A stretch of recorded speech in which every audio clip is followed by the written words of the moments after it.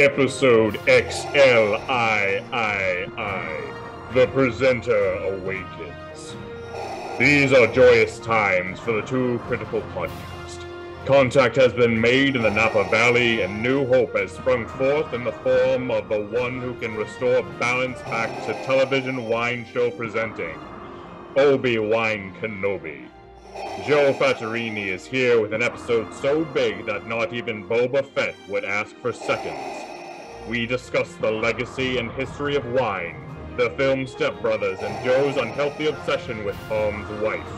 Rob, hold the camera steady. You're my only hope. Will Obi-Wan Kenobi finish his latest marathon? Will Rob stop drinking long enough to go back to work? How many times will Joe get up in the middle of the night to have a piss? Only time will tell. Welcome to the Two Critical Podcast. I'm just going to come out and say it. I'm ready to take on the Catalina wine mixer.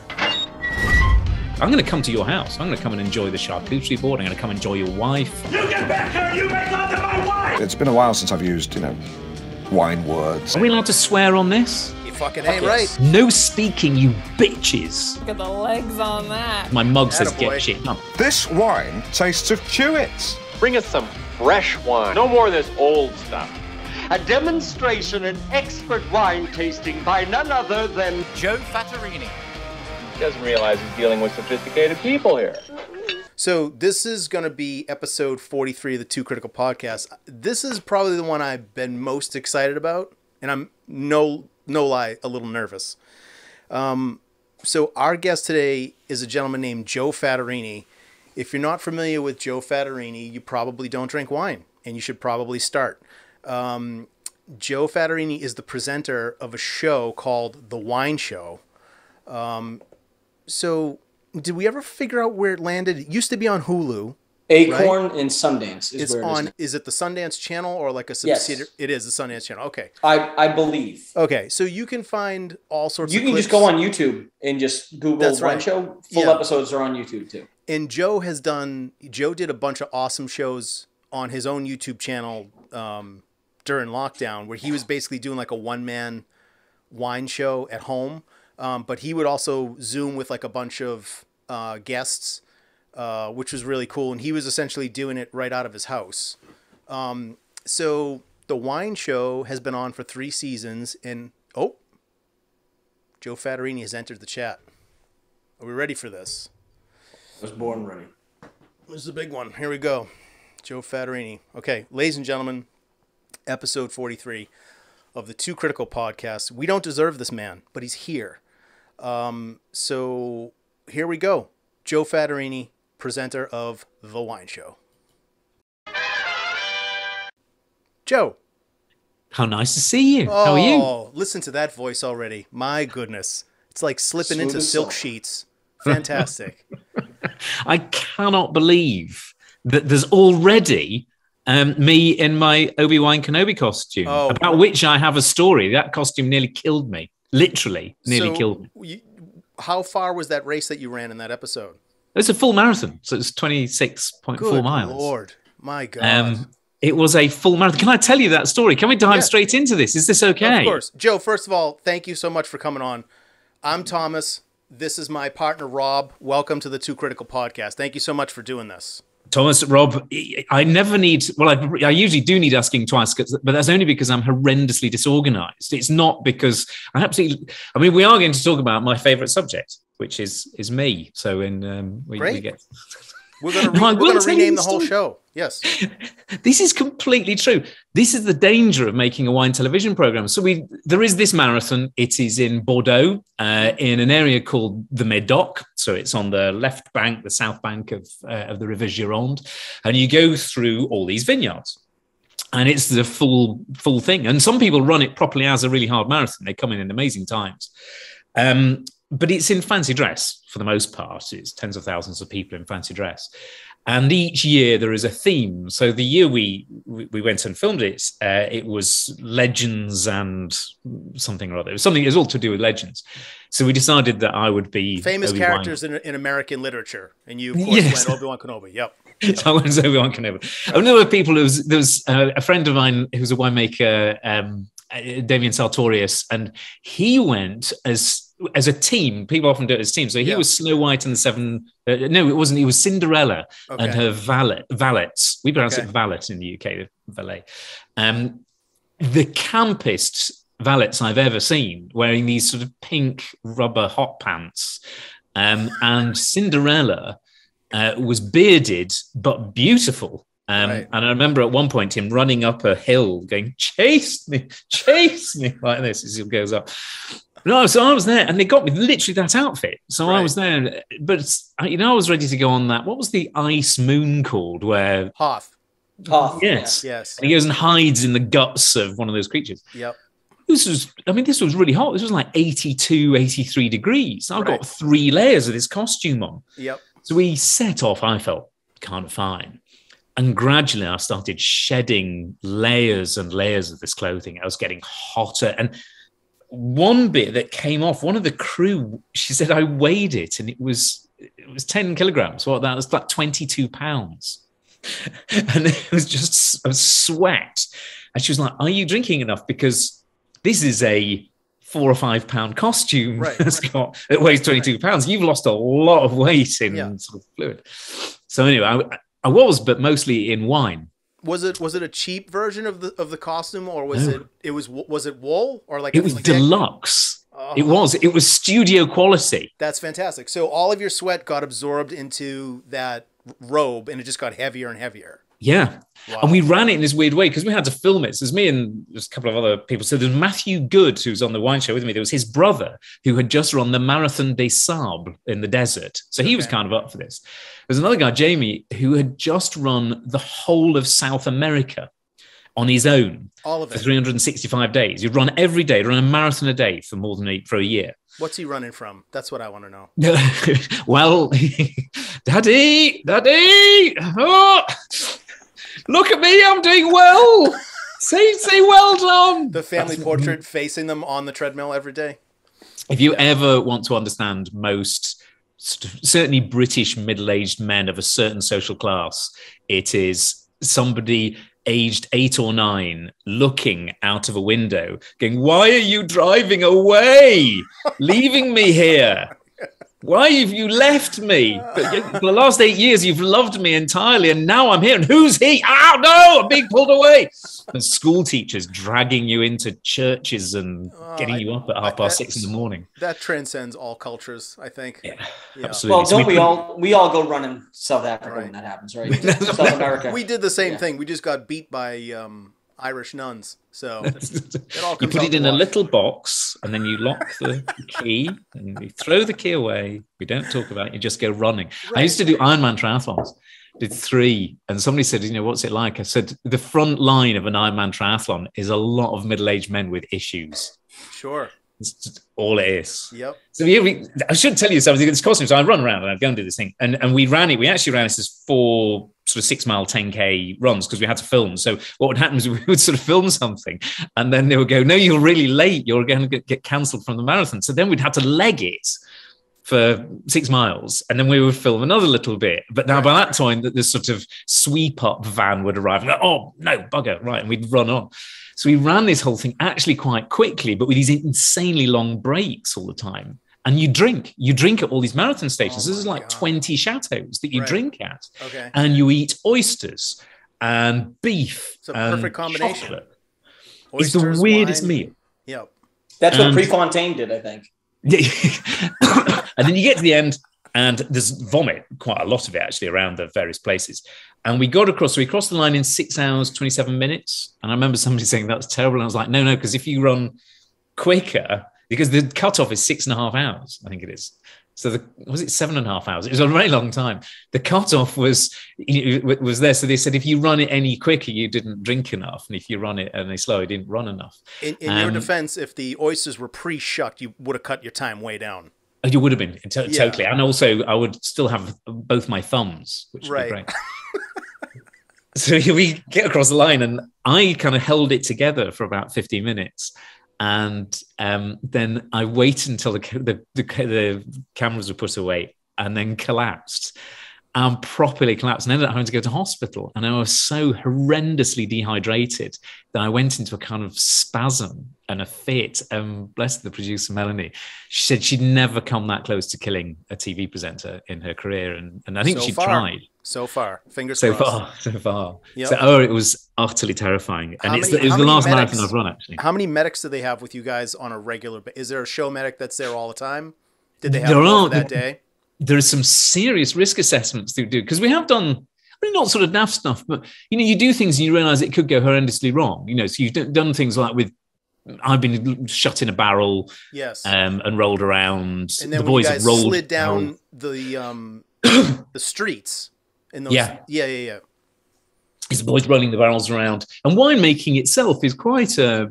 I mean, winemaking genuinely is one of the world's more, slightly more sort of dangerous professions. I mean, I've only ever had it once, and it wasn't actually with the wine show. But the thing that tends to kill people in wineries is carbon dioxide because it's fermenting, and, and carbon dioxide is slightly heavier than air. Okay. Famously, there's an awful story. This is very gloomy.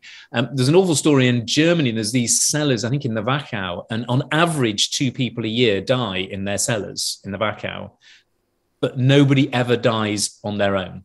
So it always happens in pairs. And I said to this guy, how? And he said, well, they, they have these dog cellars. And what happens is he said, it's always like an older winemaker, usually older guys. And they go in and they forget to turn on the carbon dioxide fans to sort of flush the cellars out. And so the awful tragedy is they go in and you die very quickly from CO2 poisoning and uh, during fermentation. And it often happens in the spring because the fermentation will stop in the middle of winter because it'll go very cold okay and it restarts again in sort of March. okay So they didn't realize that there's been these fermentations and that the whole thing's now filled with CO2. They said the awful thing is, of course, what happens is somebody goes like, "Where's Dad?" And so they go, and then it's normally their son sees him at the bottom of the stairs, legs it into the cellar to get his dad Oh out, and then he dies at the same time. And so they always find them like in, in pairs. And I once got carbon dioxide poisoning at a winery. I shouldn't say who it is because it'd be horrified. But in fairness, the winemaker told us not to do it. He said, you can't shut the doors. You've got to have the doors open. And there was too much traffic noise. It was filming something else. And um, and I started to pass out. And it was because I was the shortest person in the room. I always am. And so I'm, I'm right starting to Yeah. of uh, like this. And the hangover from carbon dioxide poisoning is horrific. It's absolutely awful. So I was just outside So I, I just imagine that the label for that particular winery is just a, a bird cage with a dead bird at the bottom of it. Is that a or probably just a rejected label? Um, why don't they have the technology that monitors that? Can they not have uh, like vent ventilation systems? W- would- Yeah. Are they worried about getting dirt into No, not at the all. process or? And the amazing thing is, if you think about wine, it's just such an extraordinarily diverse industry. It's not like Coke, you know, there's like three people making the thing. Do you know which is the only country in the world where Coke We're talking or about cocaine now. No, Coca Cola. Oh no, no There's only wants to talk one country in the world. I know there's a short there's a shortage right now in the states. Are you aware of that? It's almost twelve dollars for six pack. I've, I've seen this. I mean, I Right. don't tend to drink it very much. There's one country in the world where Coke, uh, Coca-Cola or Pepsi is not the brand leader.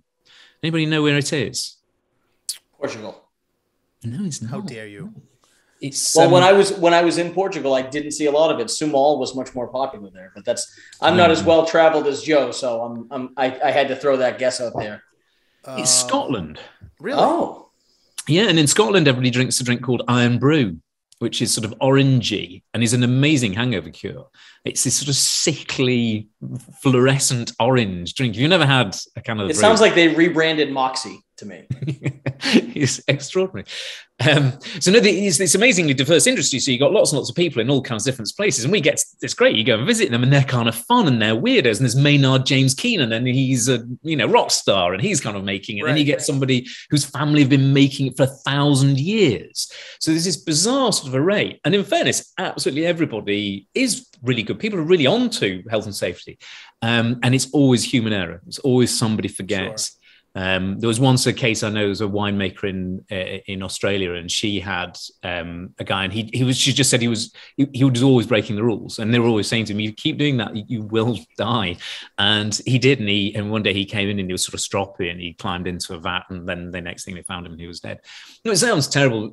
You know, you get quite a lot of you know you, you get a lot of wine being made. There's actually relatively few people cark it whilst Right. they're making it, but it is quite a dangerous place in some ways. So we did, you know, when we go away, we're always always incredibly sort of safety conscious because you've got mechanical equipment and there's people with this and that. And also, you know, I'm being asked to do slightly stupid stuff, like carry, what was it? It was once a thing I had to carry about 120 pounds, We- 140 pounds of stuff on my back. We just watched it last week where you that. cut your finger. And I cut my finger, Yeah. which was like nothing. like, look, cut my finger. Yeah, but you don't expect to be bleeding and broken in the first, you know, 10 minutes or so of, of what you what you're trying to put on camera. Not at all. No, no. I say that. I now look at winemakers who are like missing three fingers and stuff, you know, all kind of all over the shop. And you go, well, maybe that happens more often than not. But no, no absolutely not. That was amazing. You realize we talk about this thing called terroir. So terroir, sometimes people say is the soil. And then it's not really. Some people, oh, it's the soil and it's the climate. And other people say, well, it's the soil and it's the climate and the sort of personality of the people around. It is genuinely the case that today the terroir of German wines is Polish people and Romanians. It's literally impossible to go and make most wines in those vineyards without people who are prepared to come in and do it. And the only Right. people who are prepared to come in and do it are people from particularly places like Moldova, Romania, Poland, Okay. uh, some of those kind of states. And apparently these they weren't there because it wasn't harvest particularly when were there, but it was he said these guys are absolute machines. And the same guys have come for I think 12 years. And he said, seriously, they they literally would run up where you could only make it for about 10 yards. They jog up these slopes. It's unbelievable strength of these people who are doing it. So they're the total superstars. And they do something else the rest of the year. They come Right. back. So it's lots of fun. So I'd launch straight into this, but That's that's, fine. That's great. We like to to jump in head first. Um, so, um, so I've been watching the wine show since since it came on. Um, I remember one night my wife and I just stumbled across it, um, and our Friday nights used to be making a, a charcuterie plate and opening up a nice bottle, and we would sit down to watch your show. And by the end of we, we would go through two three episodes and we had had four bottles of wine.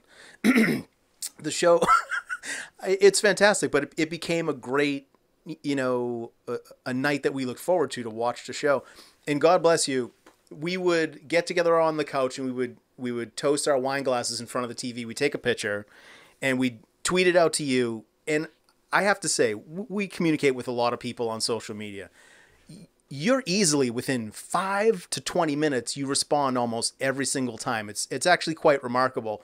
And uh, i'll never forget the first time it happened because we were we were proper properly wallpapered i think when we had sent out that first tweet and uh, and i said to my wife i'm like he just texted he just tweeted me back he he liked the post he tweeted us back so um, we've been watching it ever since and uh, we turned a lot of people onto it there's a lot of times when we're out with other couples and we'll say, "Do you guys watch the wine show?" And then we'll just launch into this whole thing about, you know, the places that you travel. And we we really enjoyed the aspect of cooking with pairing the wines.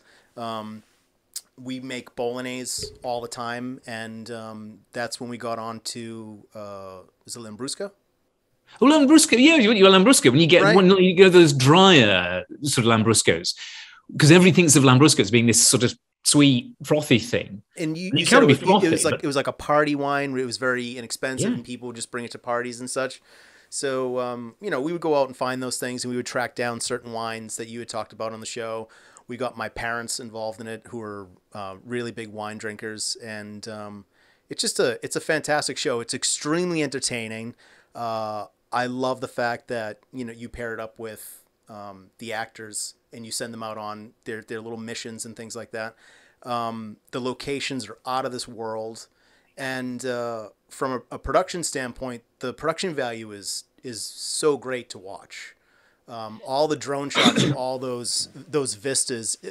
A- lot of times, it feels like a western when you're watching it. These big, wide open sort of vista shots that you guys do. Um, I love the part of that. Uh, it, it's just Actually, that means a lot because you know, obviously, you guys watch lots of films and TV and movie, and you you know that. And I know, you know, we spent a lot of money, but we put it on the screen. So a lot of that thing was like, how much money do we put on the screen? And so, you know, and, and the format was always that sort of sense. Wine is really hard to put on TV. on the whole, and it, even to a point, there's a British show, Alan Partridge. It's sort of ridiculous. If you haven't watched it, everybody go and watch Alan Partridge. And there's a quite a famous early one where there's a, they make a joke almost about the, the idea of making a genuinely popular wine TV show, as though it's such an utterly ludicrous thing to go and do.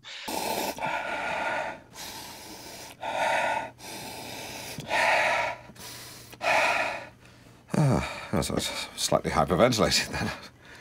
because actually it was it's very difficult i mean one a bad wine looks kind of the same as a good one you don't get to do the same stuff that you do in a food show mostly they tend to be either organized around or done by wine people who are interested in wine in a totally different way to most people so most people live like you i'm going to come to your house i'm going to come and enjoy the charcuterie board i'm going to come enjoy your wife i'm going to enjoy your sofa you're not going to get rid of me I'm across. I'm going to start calling your parents mom and dad. like Star Wars characters. It's going to be great. Star Wars I'm happy to characters. be part of Your it. wife's not. What? No, get him away. get, get an order. I know, but most people. We, we, I remember we had a thing early on where we said. Um, we asked people to show us what they were drinking. We said, "Show us what bottles you got drinking," and I suddenly noticed that in more than half of them there were people's feet because everybody watches the wine show in the same way. They sit on the sofa, they take a photograph like that, but they've got their feet on a poof, you know, on some sort of buffet at the Yep, front. yep. And so we then said, show us your slippers. And the people sent just hundreds of people sending these photographs of their slippers that Yep. they had on. And they were like pheasants and Garfield and things like that. um, so we knew that it had to be, and, and, and, and I know there's a guy, he's a prince in Bahrain who loves the show. He genuinely doesn't drink, he doesn't drink a drop. He said, I just love where you go and I love the stories. So this sort of arc, actually, Melanie, who's the producer, brilliant. Um, she had made a show called Who Do You Think You Are? It was kind of genealogy show. Right, yes. past. She said, actually, that's the model for what this is. People say oh, it's a top gear of wine. There's an element of that because it's three men and it's, you know, there's a road trip and there's challenges and so on. And then there's those intermittent features where I go off to Moldova or, you know, China or somewhere. But actually, the a lot of it is about the sort of genealogical history of a bottle of wine. And you find out, oh, well, it started because there was a war or there was an earthquake or you know, some one some very human story. And you, you, you could always mostly make an episode of the wine show or a story from the wine show without ever going and mentioning wine at all. You could Right. just talk about the earthquake itself, you Yes. know, or the war. How World So War you always have impacted these- so many of the growers and things like that. Yeah. Yeah. So we, it was always sort of that way, but we knew there had to be sort of competitive elements and um, and things. I think it sort of merged. I was about the last person to get involved. Actually, um, I think the the actors were kind of early doors. Um, Amelia, who's my co-presenter, she was quite early on, um, and I just came in. I got this Twitter message, and it was a Twitter DM from Melanie, who was the producer. And in the end, yeah, I take credit for some of it. It's Melanie's idea, and she's the star behind it all. Um, but yeah, she sort of said, I've seen a thing of you on YouTube uh, and I'm making a wine TV show. And I do remember at the time thinking, yeah, loads of people have had an idea about making a wine TV show. And I'd sort of done bits of telly in the past, Okay. mostly ridiculous things. I presented a, a pop music show in Scotland once, and I'd had a little food program called Joe's Diner that was on in Yorkshire, only in Yorkshire, north of England. We used to go around old people and ask them what recipes they'd made before the war. Um, and I'd have to eat pigs' heads and things. But it, so I sort of was vaguely aware of this thing. Anyway, I, I kind of thought, well, it sounds interesting. And she said, you- you've got this idea. So we went and met up. And, and within a week or so, it was within 10 days, we were off filming in Burgundy. We only ever wanted to make a pilot. I don't think it was ever going to be in. Um, and it made it into season one. And I buy a barrel of wine in a big auction in, in Burgundy Right. um, which was sort of terribly exciting. It was kind of it was very thrilling. And I think even then it was all piecing this thing together and sort of how would it all work and what what was what you know what would go and happen. Um, and, and- but I remember early on, sort of Mel was like, you know, we're not going to be millionaires. You're not going to be a TV star. You're not going to be you know retiring to Hollywood because actually what we spent lots of the money on was having really good lenses and having two cameramen. And they were really good cameramen. You have to. I remember one of the early ones, the cameramen. Cameramen, from to my money, are like a cross between what would you sort of say? They're sort of a cross between Leonardo, this like beautiful artist, David Hockney, and a London taxi driver. So they're always quite sort of thick set kind of blokes who talk like that, you know, sort of London, or come from the Midlands as Jamie, who comes from the Midlands, talk like that. But you know, slightly scary in some ways when you first meet them. With this exquisite artistic eye. I go, oh, right, just wait a minute, wait a minute. And the door gets slammed open, and oh, then they've got to go and do these beautiful shots. But then you go somewhere and there's a bunch of it was a thing with a communist rally that we walked in on. With that And I big guy get told you to get out. Yeah, the guy's like, oh, that was disturbing. are we allowed to swear on this? You fucking Fuck ain't yes. right. Because I'm glad because part of anything else, my mug says Attaboy. get shit done. Um, but yeah, he- the actual quote was quiet, you motherfuckers, quiet. No speaking, you bitches. Quiet, you quiet. Don't speak. He said. He stared down. I was like, he's such a good presenter. We should get him on. He's amazing. Cameraman, I mean, I had to change my trousers after that. And it was like Right. a total brown trousers incident. The cameraman were like, oh no, you know, I've seen worse in Lebanon. I thought, what? You know, it's actually terrifying. In South Africa, we had this thing. So it was a brilliant, this is a South African story. so we'd filmed in um, the most beautiful group of people. We filmed in a, a place called, it was Philippi Township, just outside uh, Cape Town. It's an extraordinary project where people are growing vines. And there's these matriarchs, and they were amazing women who are growing Sauvignon Blanc in their front gardens. And then they're turning it, they're creating this amazing wine brand. But even they sort of said, it got kind of late in the day and they said, you know, you guys don't want to The be monsters around are going to come out when it gets dark. Yeah. totally. Friday evening, few people have had a drink. You want to go and leave. And I remember there was somebody, and I sort of. Somebody, there's somebody at the end of the street, and there's kind of a gang of them. And somebody said, "Just time to jump in the car." So just know your place. Right. Time to go home. Joe So said, we- "Don't worry, I have a couple of hitmen from a Guy Ritchie movie as my cameraman." You'll be okay. It's a- it's a way around. Um, and we did have some security people, but they were so- they're patently hopeless in a way. They weren't very helpful at all. So any, challenges we slightly faced, mostly you got away with sort of just being charming and British, which on the whole gets you away with amazing amounts if you're sort of charming and British. Correct. So we jump in the car and we're going off, and the guy said, "No, we are actually going to have to leave now. I'm going to have to leave relatively quickly, so um, we're going to go home." So as we're sort of driving along, it's getting we're going along, and there's the sun's coming down, and everybody's got these braais on the side of the road, just kind of everywhere. There's all these braais, there's barbecues on the side of the road. And Jamie, I remember, swings the door open to the side of the van and goes, What's he doing? Because we're all told to be locked in. And he starts holding the camera out of the car as we're driving along. He's going, No, it's beautiful. It's beautiful. It's, look at it, it's gorgeous. Because he's doing this slow motion image of us driving past all these amazing braais. And it is amazing. There's a sun setting, there's Table Mountain in the far Right, right. distance. He's also doing it with a forty thousand dollar camera. completely. I mean, if I mean, I suspect possibly a forty thousand dollar lens. Yeah. It was insane, and it was kind of fine until suddenly we come up against some traffic. And suddenly the driver's going, "I- I've got to stop, I've got to stop, I've got to stop. And then there's this suddenly thing, there's a crowd of people. There's Jamie holding this camera, the door's open, like, shut the door, shut the Oh. door. the door. and um, you know, I remember driving away and there's people get Jamie, do not do that. Like, Do, do you travel with security? No, not at all. To be honest, um, we've been to some mad places, and I think we've mostly got away with it through charm. I think that's the only time I can ever really remember security. Once or twice, you know, you got to cover the interesting stories. You can go to lots of really lovely places. Actually, you go to the winelands in South Africa. I mean, it's gorgeous, it's beautiful, it's luxurious. But actually, wine has another much deeper kind of story, which is you know happening out in the Philippi Township, and it is you know and it's changing people's lives.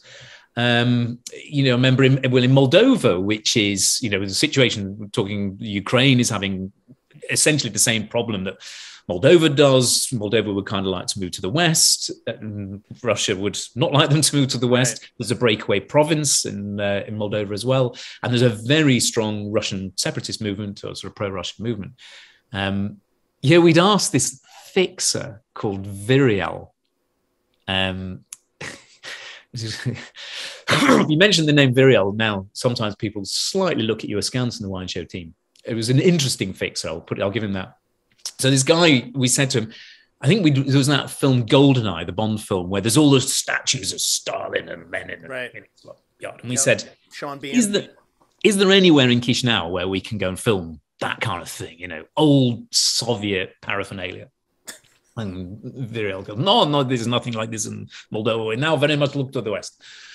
and he goes, there is one place. Meanwhile, it's his front lawn looks exactly like that. And he rocks up at this car park. There's this massive wall, and there's Uncle Joe, there's Lenin. I was like, Joe Stalin, seriously? I mean, he killed like 12, 15 million people. Oh, no, big statue of him up there. Um, was a huge Lenin. Um, was a John Karl Marx. Seemed very there. inappropriate. It, it did seem sort of, you know, in the world of, you know, should we go and have that statue up of somebody who said, you know, should we have a statue of Virginia Woolf up? Dude, Stalin over here. Like, wow. Should we start with the big, like, the, let's start with the low hanging fruit in the world of statues. it's all relative, isn't it? It really was. So we said, this is great. We'll come and film here. And we said to him, does anybody come here? He says, no. He said, at weekends, you get these old communist dudes who come along and they sit and smoke fags and talk about how great it was back in the day. So we rock up on this Tuesday. And it's when there was that incident. So we rock on this Tuesday and the place is heaving, It's heaving, filled with communist kids who are about eight. Yeah. And they've all got these little red forage caps on, and there's one with a drum, and there's one, and they're going around, and they're all in this parade square with really proud parents. Who had to, who had to shout at them? Hold for sound. Can just?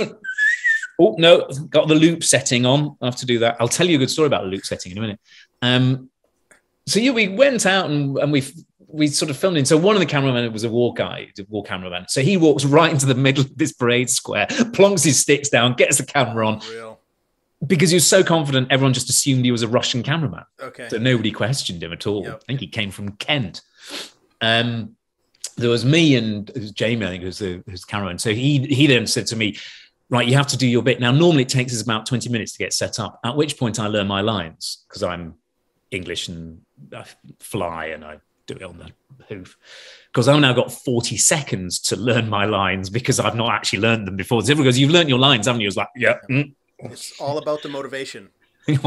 So anyway, I delivered that piece to camera, and then because this, you know, this guy is sort of rocked up, and that was one of those moments when we sort of said we need to beat a, a sort of moderately hasty retreat here and just sort of step away. Because I mean, in fairness, you don't want to cause a stushy and International incident. yeah. I have to tell you, we had a brilliant sound guy. He's so lovely, called Dave, and he talked in a sort of Lancashire accent. If you ever meet people from Lancashire, got a very fruity way of talking like that. And he was he was getting on a bit, and I said, um, I said, you, you, do you? He says, no, no, no. He says, I'm semi-retired, which is another way of saying I don't get very much work now. I don't, I don't get a lot of work. So it, was when there was that TV show Chernobyl had come out. So we were we were actually in I think we were in Hungary and Germany filming with him. And I remember at one post, one point he said something, and I said, "Is that? Did he catch that?" He says, "I don't know." He says, "To be honest, I got my hearing aid in. I, I can't hear." And I was like, "You're the sound man," and like that. And it's- Oh no! I- Just a minute. Let me get my hearing aid right. Okay, no, no, we're fine. We're fine. And this, I was like, I'm not surprised he's not getting very much work. He's the sound man with the dicky hearing aid. Yeah, with interference. We were talking about brain. Chernobyl, and he told. I mean, it's one of those amazing stories. This wasn't us, but I said to him, he he said uh, over dinner, he said, "I went to that Pripyat once, you know." I said, "Really? He said, the, the where the Chernobyl was?" He said, "Oh no, yeah." He says, "We were we were filming, we did a documentary, and they let us into Pripyat, you know, and you're only allowed in for like a couple of hours, and you go and you film it." And so we filmed it. Anyway, we went back to Kiev, and uh, so we're in Kiev, and there's these lads there who'd who'd come from from Chernobyl, they'd worked there, and they'd, they'd come out and. So we're sitting, he says, a tiny little apartment these guys have got. It's very, very small. Hope you can understand my Lancashire accent. And he said, So I'm sitting on this sofa on one side, like the settee, and then the cameraman's over here and they're sitting at the kitchen table. He says, All very cramped, and I got my microphone over like that. And we said to them, He said, Have you, have you ever been back to Pripyat, to your old flat? And the guy said, Oh, yeah, yeah. He says, Go back all the time. We go back loads. He said, "What? No, like now that the, the radiation's died down." And he said, "No, no." He said, "We went back a few weeks after we were told to leave." And he said, "But what do you go out?" He said, "Well, we'd left all our stuff. We'd left all our things there, and so we went back to collect them." And the guy, and the cameraman, he says, the, the interviewer, he says, "Well, what sort of things?" And he said, "Well, that sofa for a start." Oh, my oh bloody hell! Oh my god! No wonder he's deaf. What'd you say? No one. And he said, "Now you know, I've got no children. Yeah, yeah, like that. He's got no Holy kids." hell. He was like telling it like a joke. I was like, "Mad." Honestly, though, what a great way to get rid of company if you tell them you're sitting on an irradiated sofa. I'm gonna save that for the next time I have someone that I'm, you know, looking to get out of the house. I got hey, I that got that eBay. sofa. I got a Look at that. discount on that. No kidding. Where'd Yeah. you get it from? Chernobyl. Do you ever notice that you feel like you're glowing when you're on it? Yeah, no, uh, my asshole is very itchy, N- uh, more than usual, I should say. Very I tingly. I know somebody who's a very keen amateur scientist, and he he once his his wife had to do, go and have some treatment. Um, it was a thyroid treatment, so they gave her um, it was a like a radioactive iodine, which kind of kills off your your thyroids, and then you you know you have for hypothyroidism. And she got really cross because he he went and borrowed a Geiger counter from work, and every time she'd been sitting down for a meal, he'd go. Oh yeah, you've been there, and she she found him in the lavatory Wow. this. And he even tested the cat because the cat had been sitting on him. Unreal. Don't let the Unreal. cat on your knee anymore. It's true. I, we had an uncle that was going through um, treatment for prostate, and he wasn't allowed to be near my uh, my twins. Yeah, no lap sitting. No, you just reminded me because you were talking before, and I didn't get to tell my, my prostate story. Um, that is Go not a thing people often say in podcasts. Let me tell you about my prostate. Yep. Um, Show, no, you were show saying us yours. about- We'll show you ours. At least now we have a title for the episode. Episode 43, Joe Fattorini. Let me tell you about my prostate. he It's going introduced be us the to- memoirs. This would be the memoirs. remember somebody once writing about a South African proctologist with a four-inch middle finger. um, Let- can you go more in depth on that story for us? No, it was when you were saying about me responding to tweets. Um, quite early on, I think it was just after we brought out series one, this review came out, and Melanie, the producer, sends me this text message, and she said, "Can you explain this, please?" And I'm always terrified when she says these things because I've normally said or done something pretty much like everything I've said and done in this podcast. So I must have said something massively inappropriate. And this this message is a really good review. Somebody was really, really, you know, full of praise for the show, and they said, but it's titled, "Is this the most interactive show on streaming?" And whoever the reviewer was had been watching it in the United States, was aware that we all lived in in the UK. Well, actually, I'm living talking. I'm now living in California, but it was in the UK and had tweeted something. And they said, This is amazing. It must have been half past three in the morning in the UK. And I got response back from the presenter 10 minutes later. And I was like, What are you doing tweeting responses to people at 3:30 a.m.? But of course, I'm now now what 52. So I was in my very late 40s, and I was well. I've got a dicky prostate, haven't I? I have to go to the lavatory three times a night. So what do I do? I go to the lavatory. It's not happening. Got a prostate like a honeydew melon. So I just go and answer some tweets while I'm sitting there on the lavatory. Moon River. Whew. Thank you, Doc. That explains a lot. Okay. So, Tom, he didn't actually want to respond to you. He was bored. I understand. Yeah. Yeah. Believe.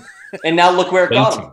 Come on, J- come for daddy. Come on, let's have it. just a little bit. That's it. You're Let's- sitting down, your thighs have gone numb. You're just going to hit social media for a while. We've all been there. So quite a lot of that kind of thing happens. It's um, it's very entertaining. But I, we're very lucky. So what we made three seasons now. Um, and if, we, if anybody's listening and haven't watched it, it's me and a what an assortment of Hollywood actors. What's a collective noun for British Hollywood actors? Um, it's sort of So that's actually we. That's actually one of the questions we wanted to ask you. Um, so out of all the actors that you work with on the show, all the amazing, talented actors, um, who is your favorite, and why is it Matthew Rhys? that is both a, a brilliant question and an entirely accurate That's one. all Rob. Rob Rob frequently asks people questions that way, and it steers them in the direction that he wants it to go. So I wanted to ask him about Dominic West, aka English Tom Selleck. The, the English Tom Selleck.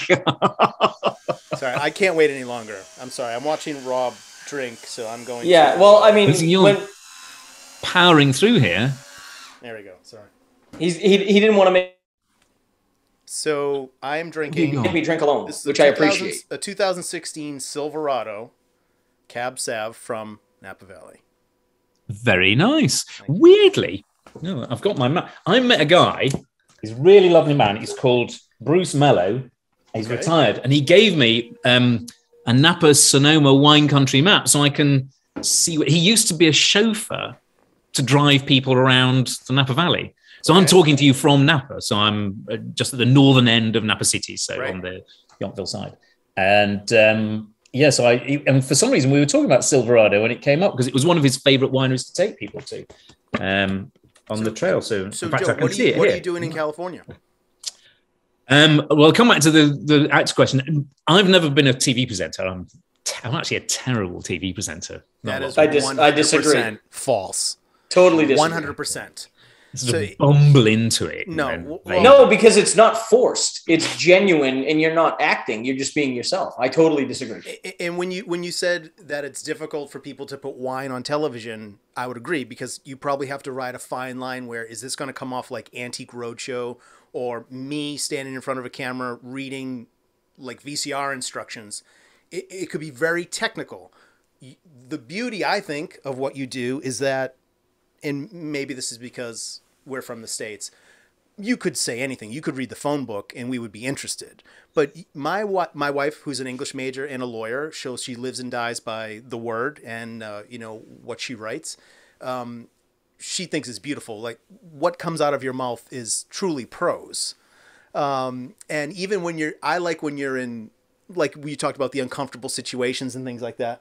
Normal people would react or say something probably that was a little more blue. Um, you choo- choose to take the high route most of the time, and um, it- it's just it. We could listen to you say anything. It's fantastic. I, I think that's one of the reasons why the show is so enjoyable to watch. It's gonna be so awkward when I come to your house and there's me and your wife getting on like a house on fire talking about English.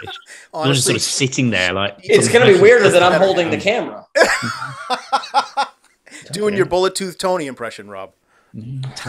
Desert Eagle 150. That's very kind of you to say. No, the the the reason I'm in California, so I'm, I I mean, it was really nice, and and one of the things I think when Mel found me, the way Mel found me was I was sitting in. She was looking for a presenter, so she knew she had these actors. Um, she was looking for. Uh, Amelia was already sort of keyed in, so she knew she had you know brilliant sort of young young English you know voice coming through.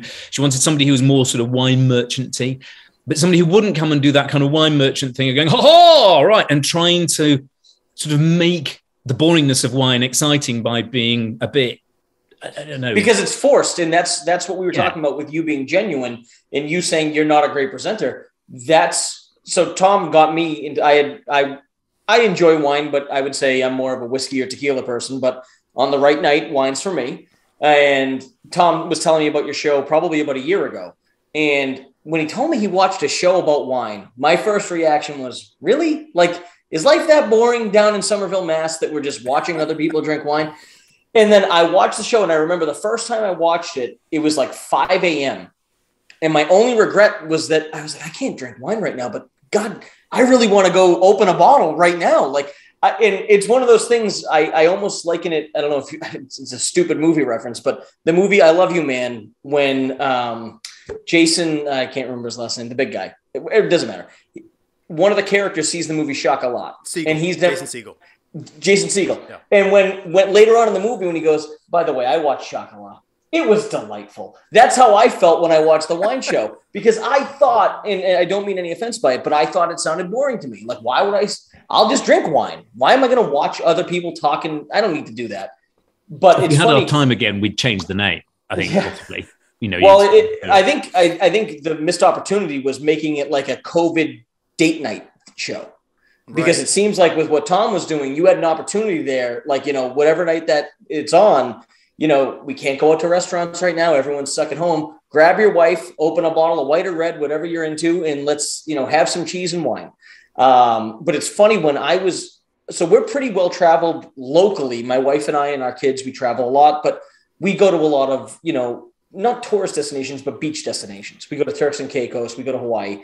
We did two weeks in Portugal because I'm I'm Portuguese. My my grandparents are off the boat from Portugal, and we always wanted to go there and see it. So when I watched your Portugal episodes of the wine show, it's funny because I remember watching it going, it's so much more interesting because I've been there.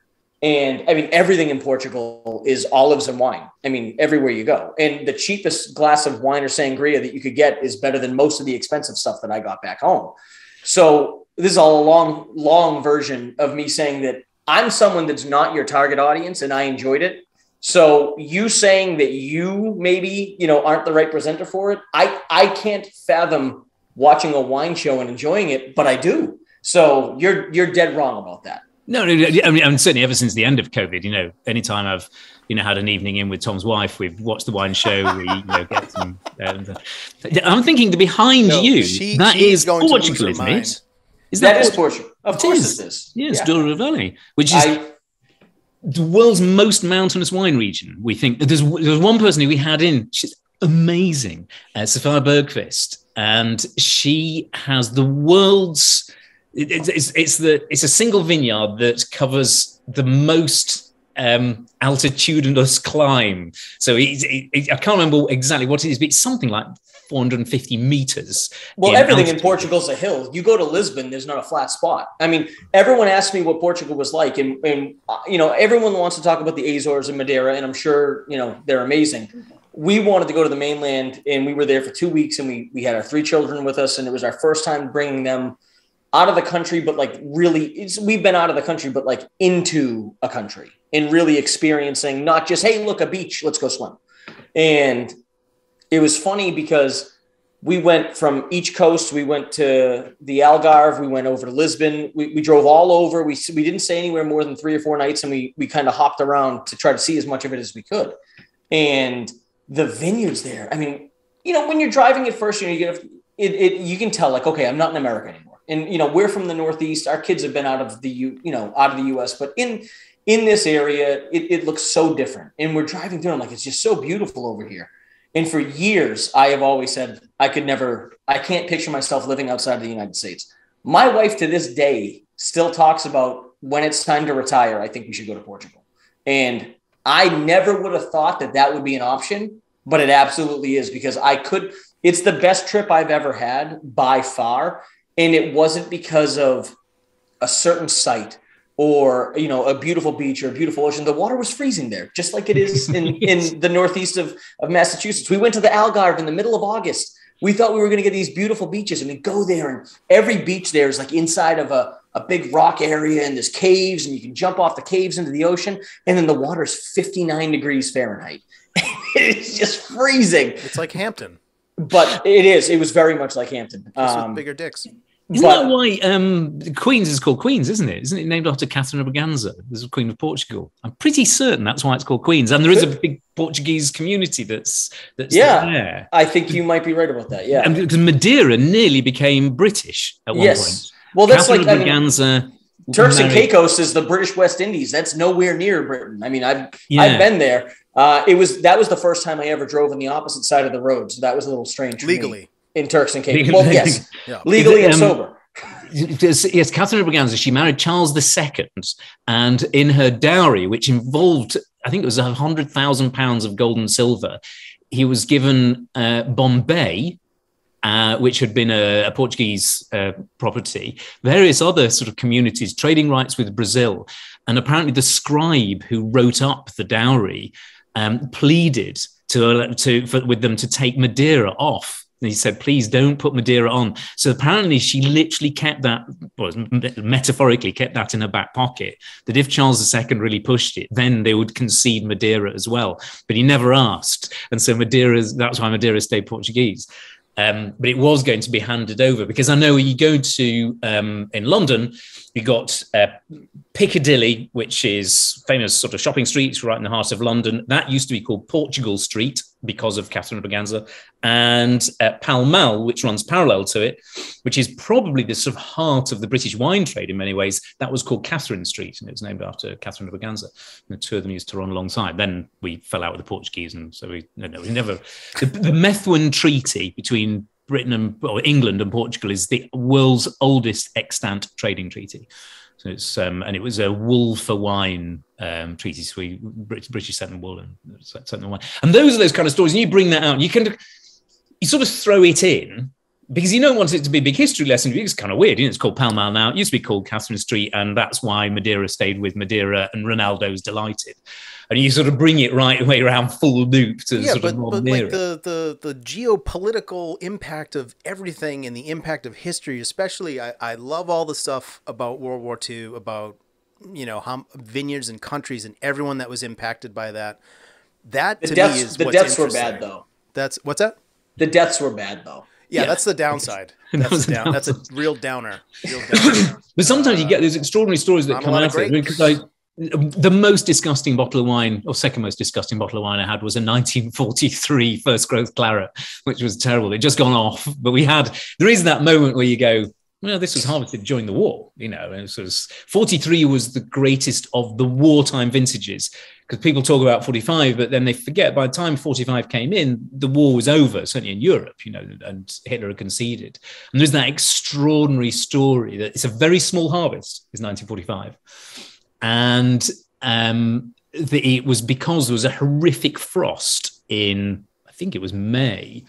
Um, so it happened, the frost happened about four o'clock in the morning, and about a third, between a third and a half of all the grapes in Bordeaux and in Burgundy, this great wine regions, were killed. Uh, and frost, you know, late frost can be totally devastating. It was at the end of April.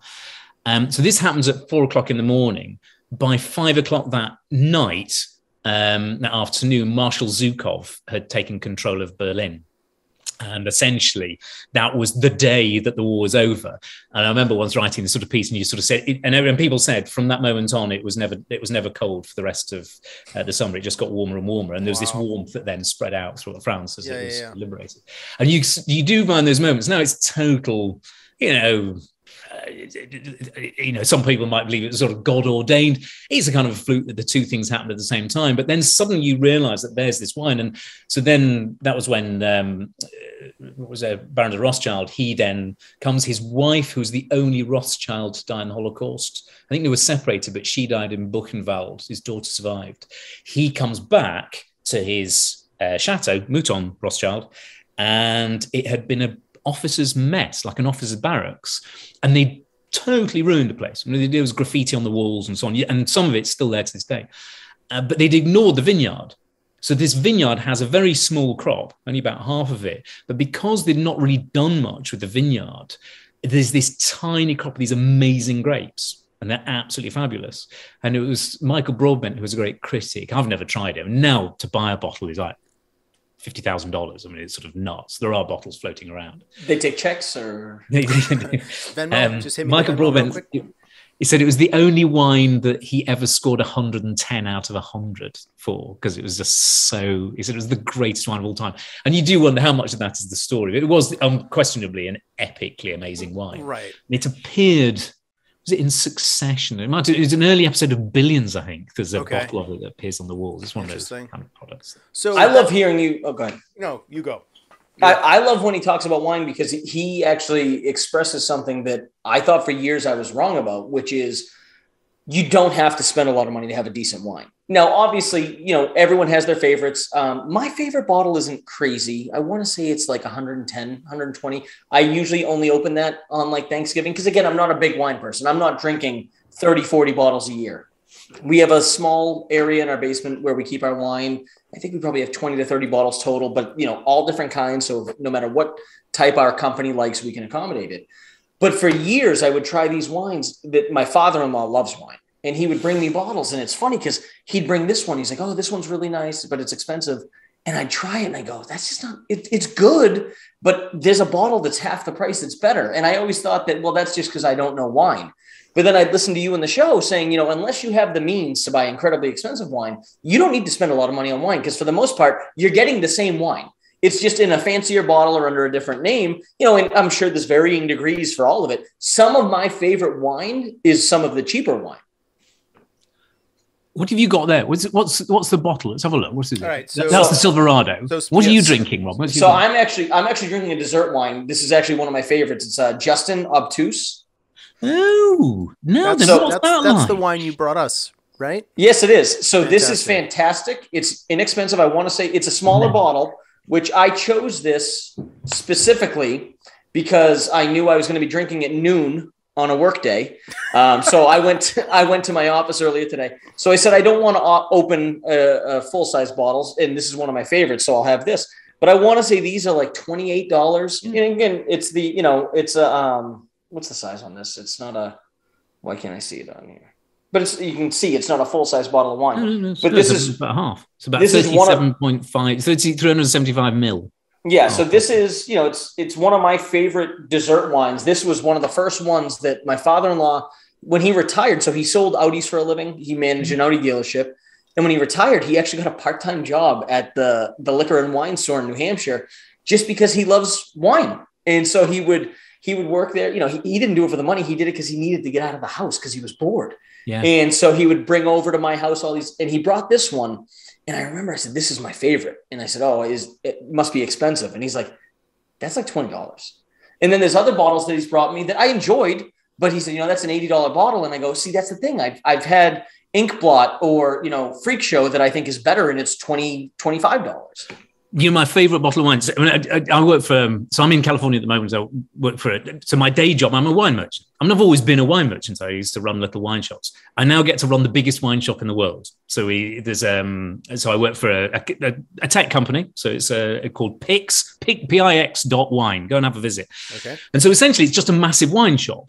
And what we do is we sort of send people. So I'll send you to where your father-in-law is, you know, and I'll sort of say, go and buy it in this shop, or you can buy it online, or you can go and visit.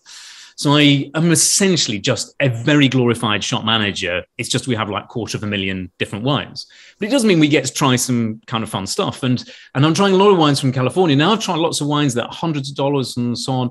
Certainly this time round, I mean, I came back after Christmas. I my wife and son live in Sweden. Um, I have four older children who live in England.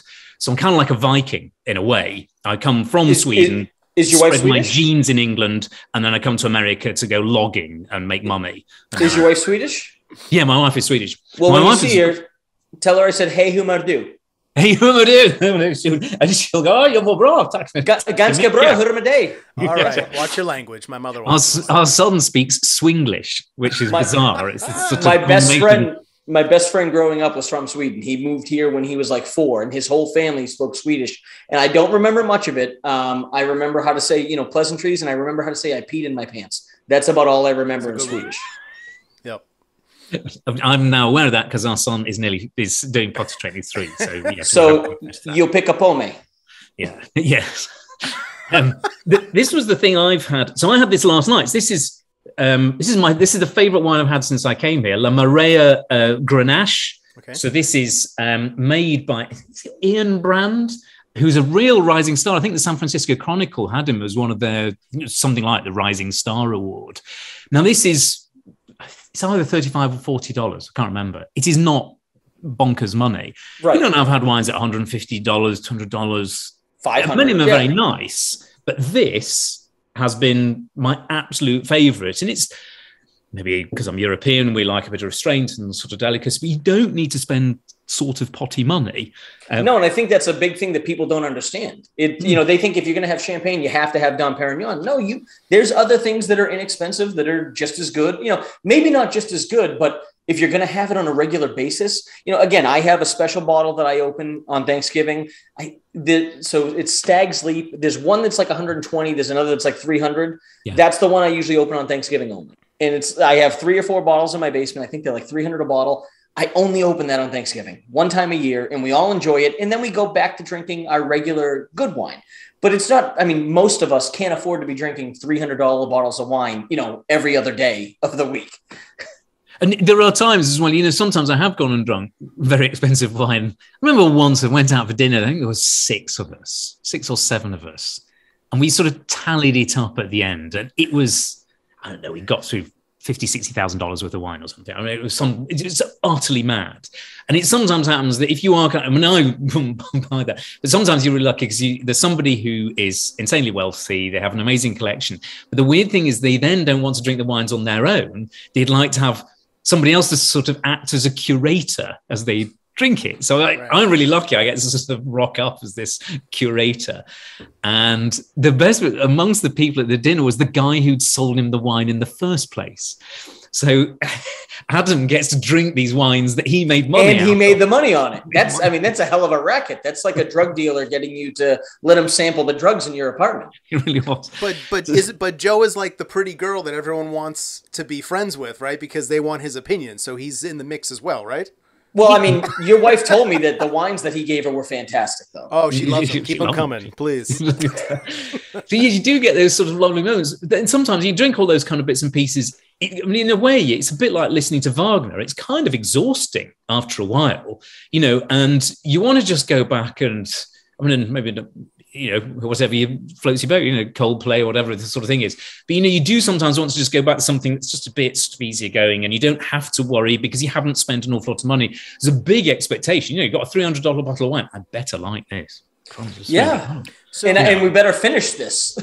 so Terrifying. do, do you do you think it's like art in that sense, Joe, where it's it's sort of subjective, or people you could and they've done studies like this before. They have they have brought people in hidden camera experiments in an art gallery, and they've hung pieces of art that someone just painted literally hours before this experiment started, and it was just a a, a prop guy and just painted threw some paint on a canvas, and they stand a person in front of the of the artwork, and people come up, and and the person staring at the canvas convinces them that it's the most amazing piece of art that they've ever seen, and those people buy it hook, line, and sinker. So, i- i- it, is, is it subjective in the same sense where where people can say, yes, this wine is fantastic, it's incredible, but it doesn't have to be for you necessarily. Like you said, it all depends on your own personal taste. Does it mean, does it mean you're wrong? Does it mean Yeah. you're wrong for not liking something that costs five thousand dollars a bottle? Not at all. And the, actually, that analogy with art is a very is a very prescient one. Now, there is a thing. There's a famous technique. So this, in fact, this week in Napa, all this week there are the Master of Wine students. Famously, you're more likely to have met somebody who's been in space than to meet somebody who's passed the Master of Wine. Yep. I haven't passed the Master of Wine. I did it some years ago. I'm one of you going to space? famously a question. third of people, third of people who begin it who are married, whether they pass or not, get divorced. So I got divorced whilst doing the MW. It's that challenging. Wow. It's pretty hard. Wow. So they're all in here. Now, one of the things you learn quite early on, one of the nice things about meeting Master of Wine is you'd think there'd all be these amazing experts at the top end of, you know, these sort of glorified wines. They're also, they're actually the group of people who will tell you the quality that exists in an eight ninety nine dollar bottle of wine. They'll tell you because actually that's in some ways technically that's much harder to make. Actually, it's a consistent bottle of wine at under ten dollars. It's a really technically difficult challenge. Okay. It's very easy to go and have one of the world's greatest vineyard sites, throw insane amounts of money at it, and yeah, because then they have the resources. The resources are there. They're not going to give you the resources for a ten dollar bottle. and, and also to be you've got the excuse that it can taste different every year. Whereas if you're selling a 10.99 bottle of wine, everybody wants it to taste the same every year. But one of the things they teach you very early on is this thing known as the blick. I think I come up with it once, twice in the show. B L I C. So this is a sort of a this is a metric by which you say actually you, can judge objectively wines, and it, it does work because balanced length, intensity, complexity. Really good wines are more balanced between fruit sweetness or just sugar sweetness, actually, and acidity. So, sweet wine actually should be more acidic. That's why it gives you heartburn when you drink pudding wines. Um, so, they should have that poised balance. If they're unbalanced, they're out. Score it one, two, or three. Not really very balanced, adequately balanced, perfectly poised. Um, length, how long does it last on your palate? Great wines sit there for a longer period of time. And we know there are sort of biochemical reasons why that happens, um, or physiological reasons why that happens. Um, intensity, that isn't so much how big is it. That's often mistaken. People think big wines are better than small ones. It's not true. It's sort of vaguely held by a lot of California winemakers in the 80s.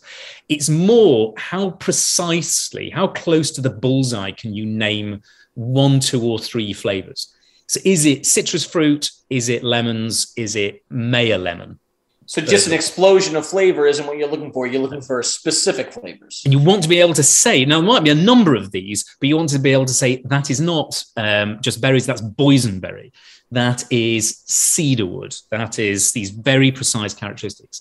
And then complexity. Great wines are taste of more different things than simple wines.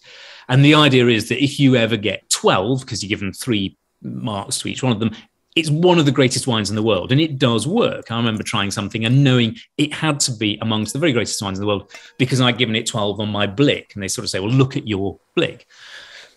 so, on one level, yes, you can objectively go and pick out what are great ones. Now, you don't need to like a wine for it to score 12 on the blick. Right. So it can be massive and it can be all sorts of things. It can be a bit bitter and it can even not be ready. I remember once doing this with Pinot Noir, and the nicer one was the less blicky one, but it was ready to drink because it was a village level Chambolle Musigny, whereas what we had was a Grand Cru Le Musigny. So, and the Grand Cru Le Musigny was going to take longer to come round, but it scored 12 on the Blick. Was bloody amazing. Georges Roumier. was it Le Musigny? It was, the, it was the other Grand Cru. Um, whereas his village level wine was kind of ready to drink kind of now because it's you know, three years old or something.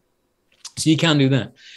There is another layer, and there's lots of these experiments. And we do actually a lot of this with PICS, fun enough. It's one of the things that we do. So I do lots of lectures now on behavioral science. I worked in behavioral science quite a long time. So a lot of the stuff we know what makes wine great, who you with. Is it appropriate for the occasion? Is it the sort of thing that you're wanting to go and invest in at that point? Is it with people that you like? Was there the sound of a cork popping rather than a screw cap? That adds 10 15% i think right, is to right, the right. price of value of a bottle of wine. So a lot of what you go and do. And is it kind of a fun story? And there are some wines where somebody tells you something really meaningful about it you know i made this or my friend made this or this represents a very special occasion. Why shouldn't that necessarily make it really you know i have a pair of nike air jordans in the bordeaux colorway they're worth more to me than any other colorway because it's bordeaux Right, I mean, right. they're exactly the same trainer as any number of other Nike Air Jordan ones, but it means kind of more to me because it says Bordeaux on it. Why shouldn't that match in the world of wine? So, you know, in art, I think sometimes there's that question of what was the intent. And I think sometimes you get that sense where, and I'll give you quite an interesting example. So you could get two pieces of art. In one of them, it's just the janitor flick some things across it. In another of it, it's let's say somebody who comes from you know, historically marginalized community who is expressing their frustration about the world around them, and they do that by getting smashing some things around. There's a kind of a value in that that isn't in the bit where the janitor went and flicked some paint right. around. You take two wines. One is made by, you know, great winemaker. The other is made by the first female winemaker in Yountville. and, and, it's their passion. It's that's totally yeah. passion. And, and the grapes were planted by the Romans. Yeah, completely. That adds a sort of value to it. Right. That's not necessarily on the palate, but doesn't mean that it's not valid as a as a sort of. Okay, that's awfully philosophical for me. That sort of time. I mean, can we not go back to talking about me in a bath of wine or something like that? Here we go. Well, we can talk about Star Wars. I Gifting mean... gears, dick and fart jokes. Here we go. So, um, Joe, so are you? So, what do you do in your downtime? Like, what what do you like to do? What are some of your favorite like films or because we talk all the time about comics, uh, TV, uh, films. That's really what we talk about primarily. We have a lot of actors and actresses and people that are in the industry that are on. So, um, what what are your top five favorite films? If you had to go on a desert island tomorrow, what are your top five favorite films? And I say top five based on rewatchability. You. Yeah, this rewatchability. I mean, there, there are the, the obvious things. Um, I, I, I because I, I have sort of teenage children we watch a lot. I could go and watch Step Brothers until it came out of my ears, which I thought was a sort of lowbrow choice. No, it's, it's not. That's a fan. It's you not at all. You need at least one of those. If you're on a desert island, you need at least one of those. And apparently, Step Brothers is now taught in some film schools because of the way that it plays with. Um, is that sort of idea that the, the, the idiotic, slightly surreal characters only work if everybody else plays it absolutely straight. Straight, correct. Yes. yes. And the the story arc within it is extraordinary. I mean, it's this immaculate story arc that runs. It's the Catalina freaking wine mixer. The, the, complete. I have that T-shirt actually. Of course, I'm so glad. Um, so I, I, I wear it to work. So I should have worn it to my Catalina Winemakers t-shirt. I wear it into the office, and I keep saying that when PICS becomes a big thing, we're going to celebrate. We're going to get helicopters to take us to the to Catalina for a mixer. Um, Just watch out for Rob Riggle; he'll bite your dick off. I've seen him do it. It was in international waters; nobody could prosecute. Um, I, funny enough, there is a sort of wine connection. Uh, certainly, when I was young, this dates me a little bit. I could watch Apocalypse Now until until the ends um, of time. Well, when you brought up Wagner, that's the first thing I thought it was I, Valkyries. Yeah. Yep. And, Same here. and funnily enough, when we were filming series two, we had a competition because lots of people were really into film. In Yeah, the, in, I in would this. imagine. So we had this, this competition, and it was um, you had to bring a T-shirt on, and people had to guess the connection to a film. Awesome. And I came down with one, and it was um, a it was a, a green T-shirt, olive green, advertising Yater surfboards, and nobody got it. Nobody got it, and I'd had to dig it out. It was really hard to find, and it was um, it was the one that Colonel Kilgore wears when he's doing the surfing. And So it's interesting t-shirt. that you say that. So uh, I'm a big Jimmy Buffett fan, and um, he's a surfer in real life. And frequently, when you go to his concerts, you know the backdrops and the stages are all decked out with. Uh, they made look like tiki bars and things like that. And he has the surfboard with the 101st Airborne patch, just tucked in amongst all the other surfboards. So Hey, when you got money, It's extraordinary. Yeah, there's um, there's a, a winery in the, in Valley called um, Black Stallion, and it has a lovely piece of trivia. And because Francis Ford Coppola, I'm the only person I think who's ever done a full vertical of all Francis Ford Coppola's wine, vine- uh, Inglenook wines, and, uh, and it was I did it in Las Vegas, and the audience was amazing. I remember there were all the wives. Funnily enough, as a Step Brothers connection, there were all the wives of the guys in Cops uh, who uh, had bought tickets for this wine tasting I did at a golf club in Las Vegas. And I said, What do you do? And they said, Oh, we're all our husbands all appear in this TV show called Cops, which then didn't make any sense until I watched Step Brothers. And it's like, Why are you so sweaty? I've been watching Cops. Cops. Um, and I lost the audience briefly.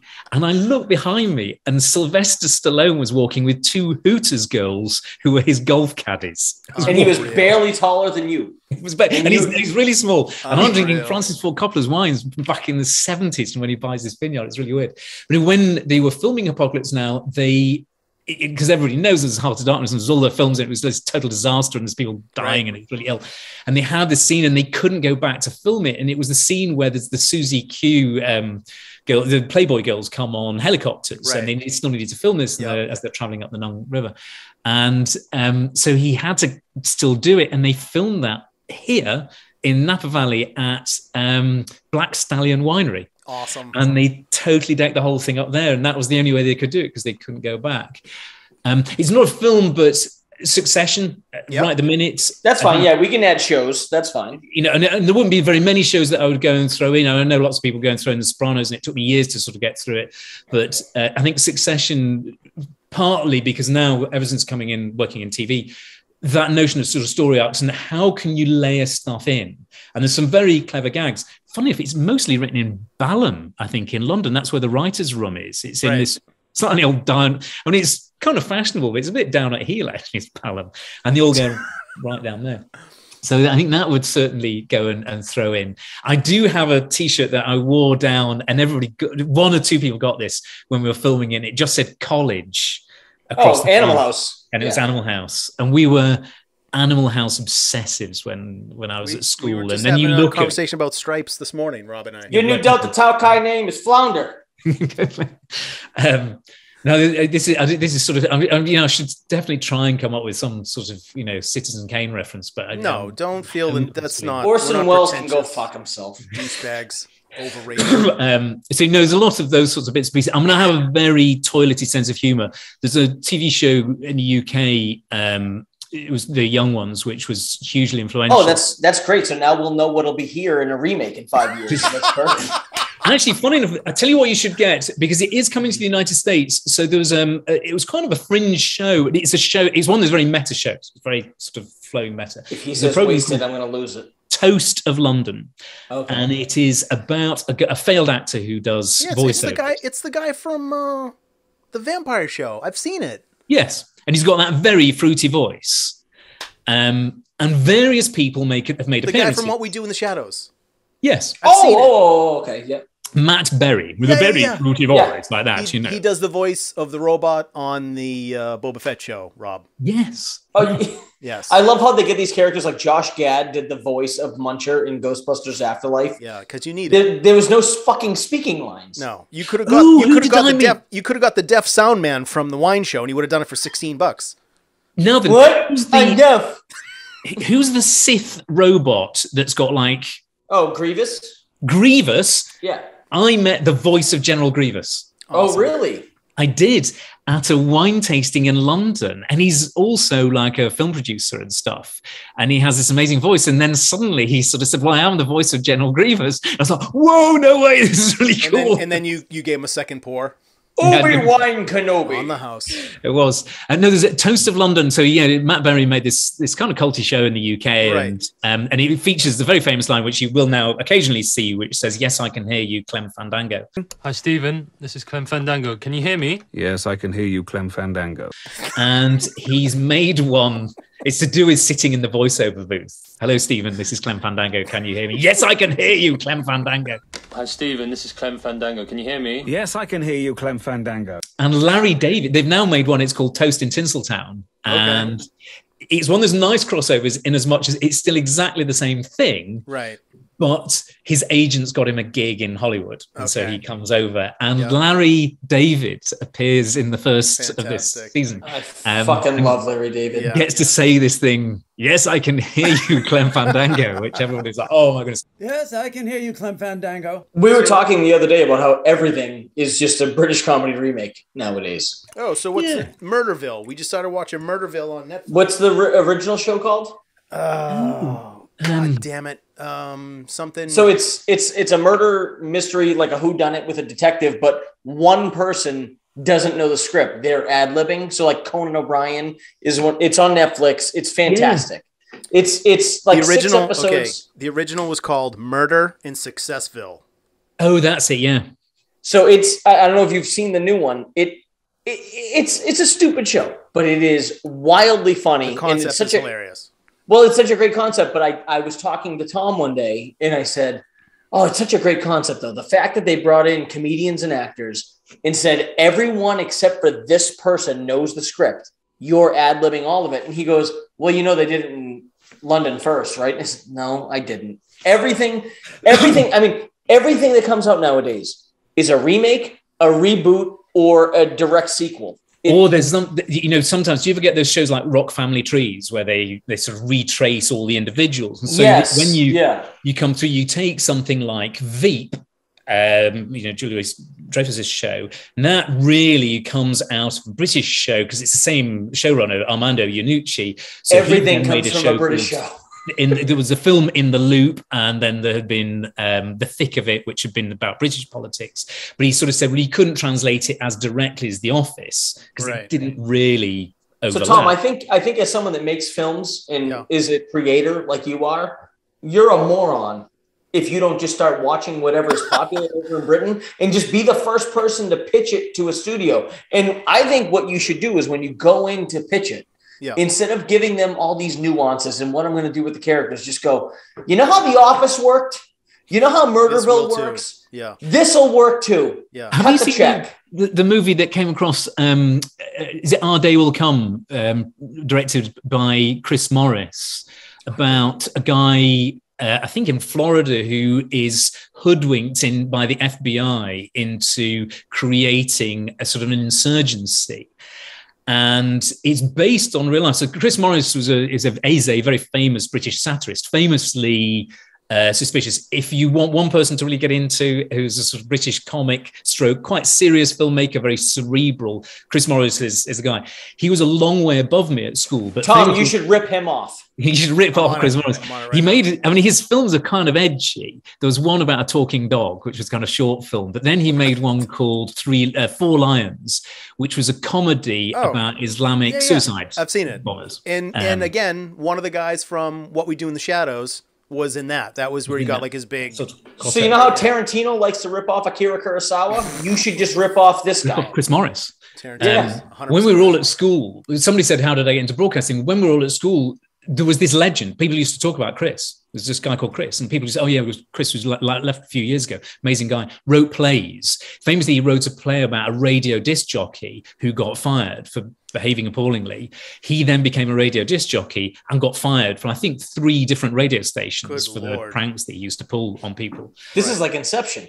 It was, and he created a radio station, and we recreated. It was called Big Bollock Radio, And a number of us who are involved in it are delighted to say it. One very high profile media libel and lawyer in the UK, who was also involved in, is not at all happy to announce that he was involved in a pirate radio station called Big Bollock Radio. Congrats. And he acts for like Brad Pitt now. And so he's like, no, no, you're not allowed to say. Tom, do you Uh, think uh, Afterlife from Ricky Gervais is that too popular? Can we rip that off? Can we just make an American version of that? I mean, it probably is, but let's face it, most American shows have to do with a guy that drinks too much and his wife died of cancer anyway. So, Like you can get away with it totally. Look out, Chris Morris has got some kind of obscure bits that you could go and pick up. He directed quite a few episodes of Veep actually. So he and Armando, similar age, both Catholics, both went to Jesuit boarding schools. So there's a big sort of overlap there. And so you know those kind of shows and the way. And like so, actually, one of my movies, I, I think certainly of the recent era, one of the things I've gone back to quite a bit is Death of Stalin, which was Yep, Armando's hilarious. uh, film. You know, and that thing of how do I make something funny out of something that's really, really horrific? correct. And actually, as British people, I mean, you know, you can get away with because you can go and throw Steve Buscemi in and people like that, but then you got enough British actors. Like who's the guy who plays um, Beria, um, who's unbelievably brilliant actor, and they're just on the right side of you know making it really really dark. Um, but you get away with it slightly because you're British, and so you, your accent kind of carries. Simon Russell Beale, who's you know playing this hideous character, and he's got a woman locked up, a girl locked up in a dungeon. You know, and it's just Yep. so unspeakably dreadful. Um, and yet, actually, you come out of it with that, I think, quite British dark sense of humor, where you go, you have landed the horror of this thing with me, even though I've come out of this actually very, very funny film about, you know, Stalin lying in his own urine. well, Um, look at look at Jojo Rabbit with um, Taika Oh, Waititi, what he does. I fucking love that And movie. people don't. I, I certainly love. In one of my my biggest influences of all time is Mel Brooks. I was I was raised on Mel Brooks's films. A black sheriff? on- it worked in Blazing It worked in Blazing Saddles. Um, I was raised on Monty Python and and all those. So, um, but to to understand, you know, people often say that uh, you know the movie Blazing Saddles was racist. If you understand film at all, if you understand the message that he was trying to get across, you realize it's the exact opposite and what Mel Brooks is trying to do. Um, same thing that Taika Waititi uh, tries to do in almost all of his films, but he takes that extreme level of you know horrible events that happen and he's able to find he's able to glean the comedy from it which is what comedy is supposed to do anyway um, and make it take the absurdity of the real uh, horror of it and find the funny in it which is what he which is what he did he's, and he's brilliant at doing it Have you Jojo guys ever come is- across um, Stewart Lee, the British comedian? D- d- Divisive, um, and he, he- in a sense, I mean, anti-comedy, anti-humor is kind of his thing. Whether people sort of entirely agree with his politics, and that's a fairly sort of surface way of looking at it. He plays with Brechtian alienation in a way that I have, you know, I think is probably that's one of the. And in fact, there's some very good, like you know, people on YouTube who deconstruct his routines to go and see how he plays this thing, because largely he sort of creates these constructs where the audience, you know, you're the problem.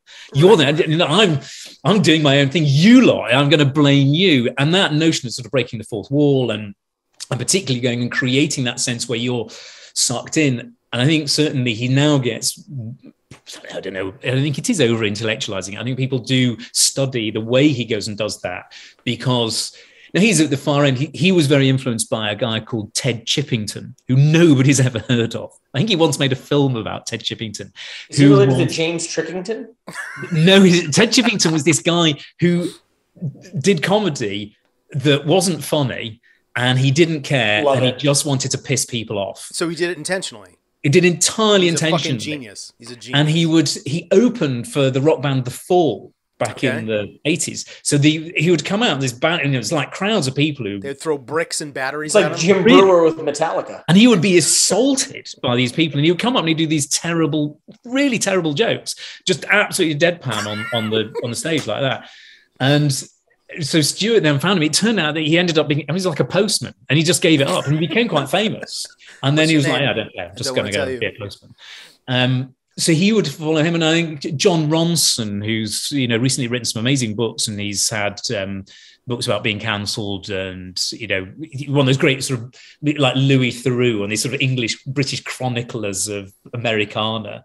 He made a film about a guy called uh, Frank Sidebottom, who was a similar character. Frank Sidebottom was. It, it was a guy called um, was it what's his name Sievey, uh, Chris Sievey, who wore this huge papier mache head and would do covers of songs, but sort of with a voice like that. And he'd talk in a kind of high voice and he'd play something and had this funny little voice and he'd do this. And Jon Ronson was his bassist, I think, in this band. And it was this incredibly British thing because it was all entirely based around a town called Timperley, which nobody had ever really heard of, Timperley. And it was very Manchester, Northern English, but he just didn't care which makes it so much more funny. Now, if you do care, I'm you know, I do quite care about being moderately liked, but actually, you've got to be a bit brave. You, know, you have to slightly push it and go, well, this bit, I don't care if you like it or not, because this really matters to me. I'm going to go and put this silly line in. Um, and then suddenly you do get a kind of a breakthrough. And I think both, you know, certainly Jon Ronson's analysis or, you know, watching of, of Frank Sidebottom, there is a very good film about it, I think on Netflix or something. And certainly um, when you get into the work of, you know, of Stewart Lee and seeing how sort of he evolves, and he talks a lot about this stuff. Do you guys get Adam Curtis in the states?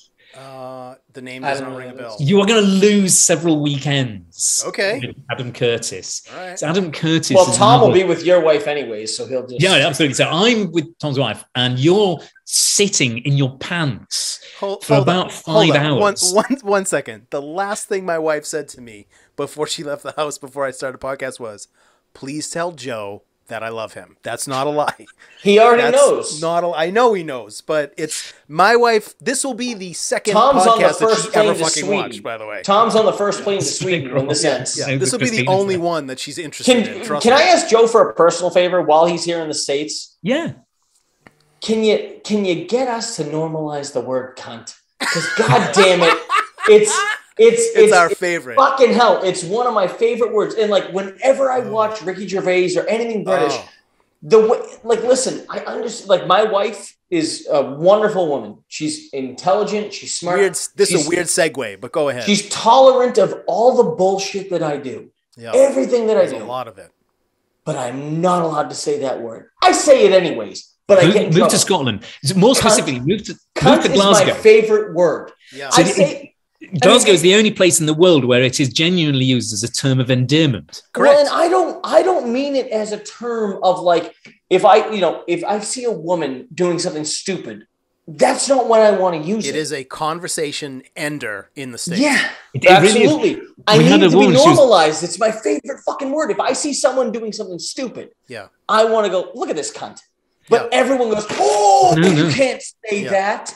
Go to if you go to Glasgow. I lived in Glasgow for 18 years, for a long time living in the west of Scotland. You and as people sort of know, the west of Scotland is riven with you know racial, uh, uh, you know, religious disharmony.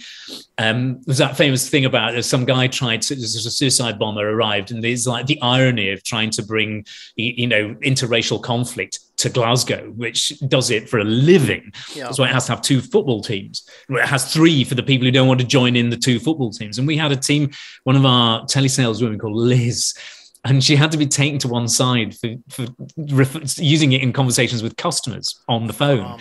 And then somebody said, You're not allowed to do that. And she said, Well, he is one.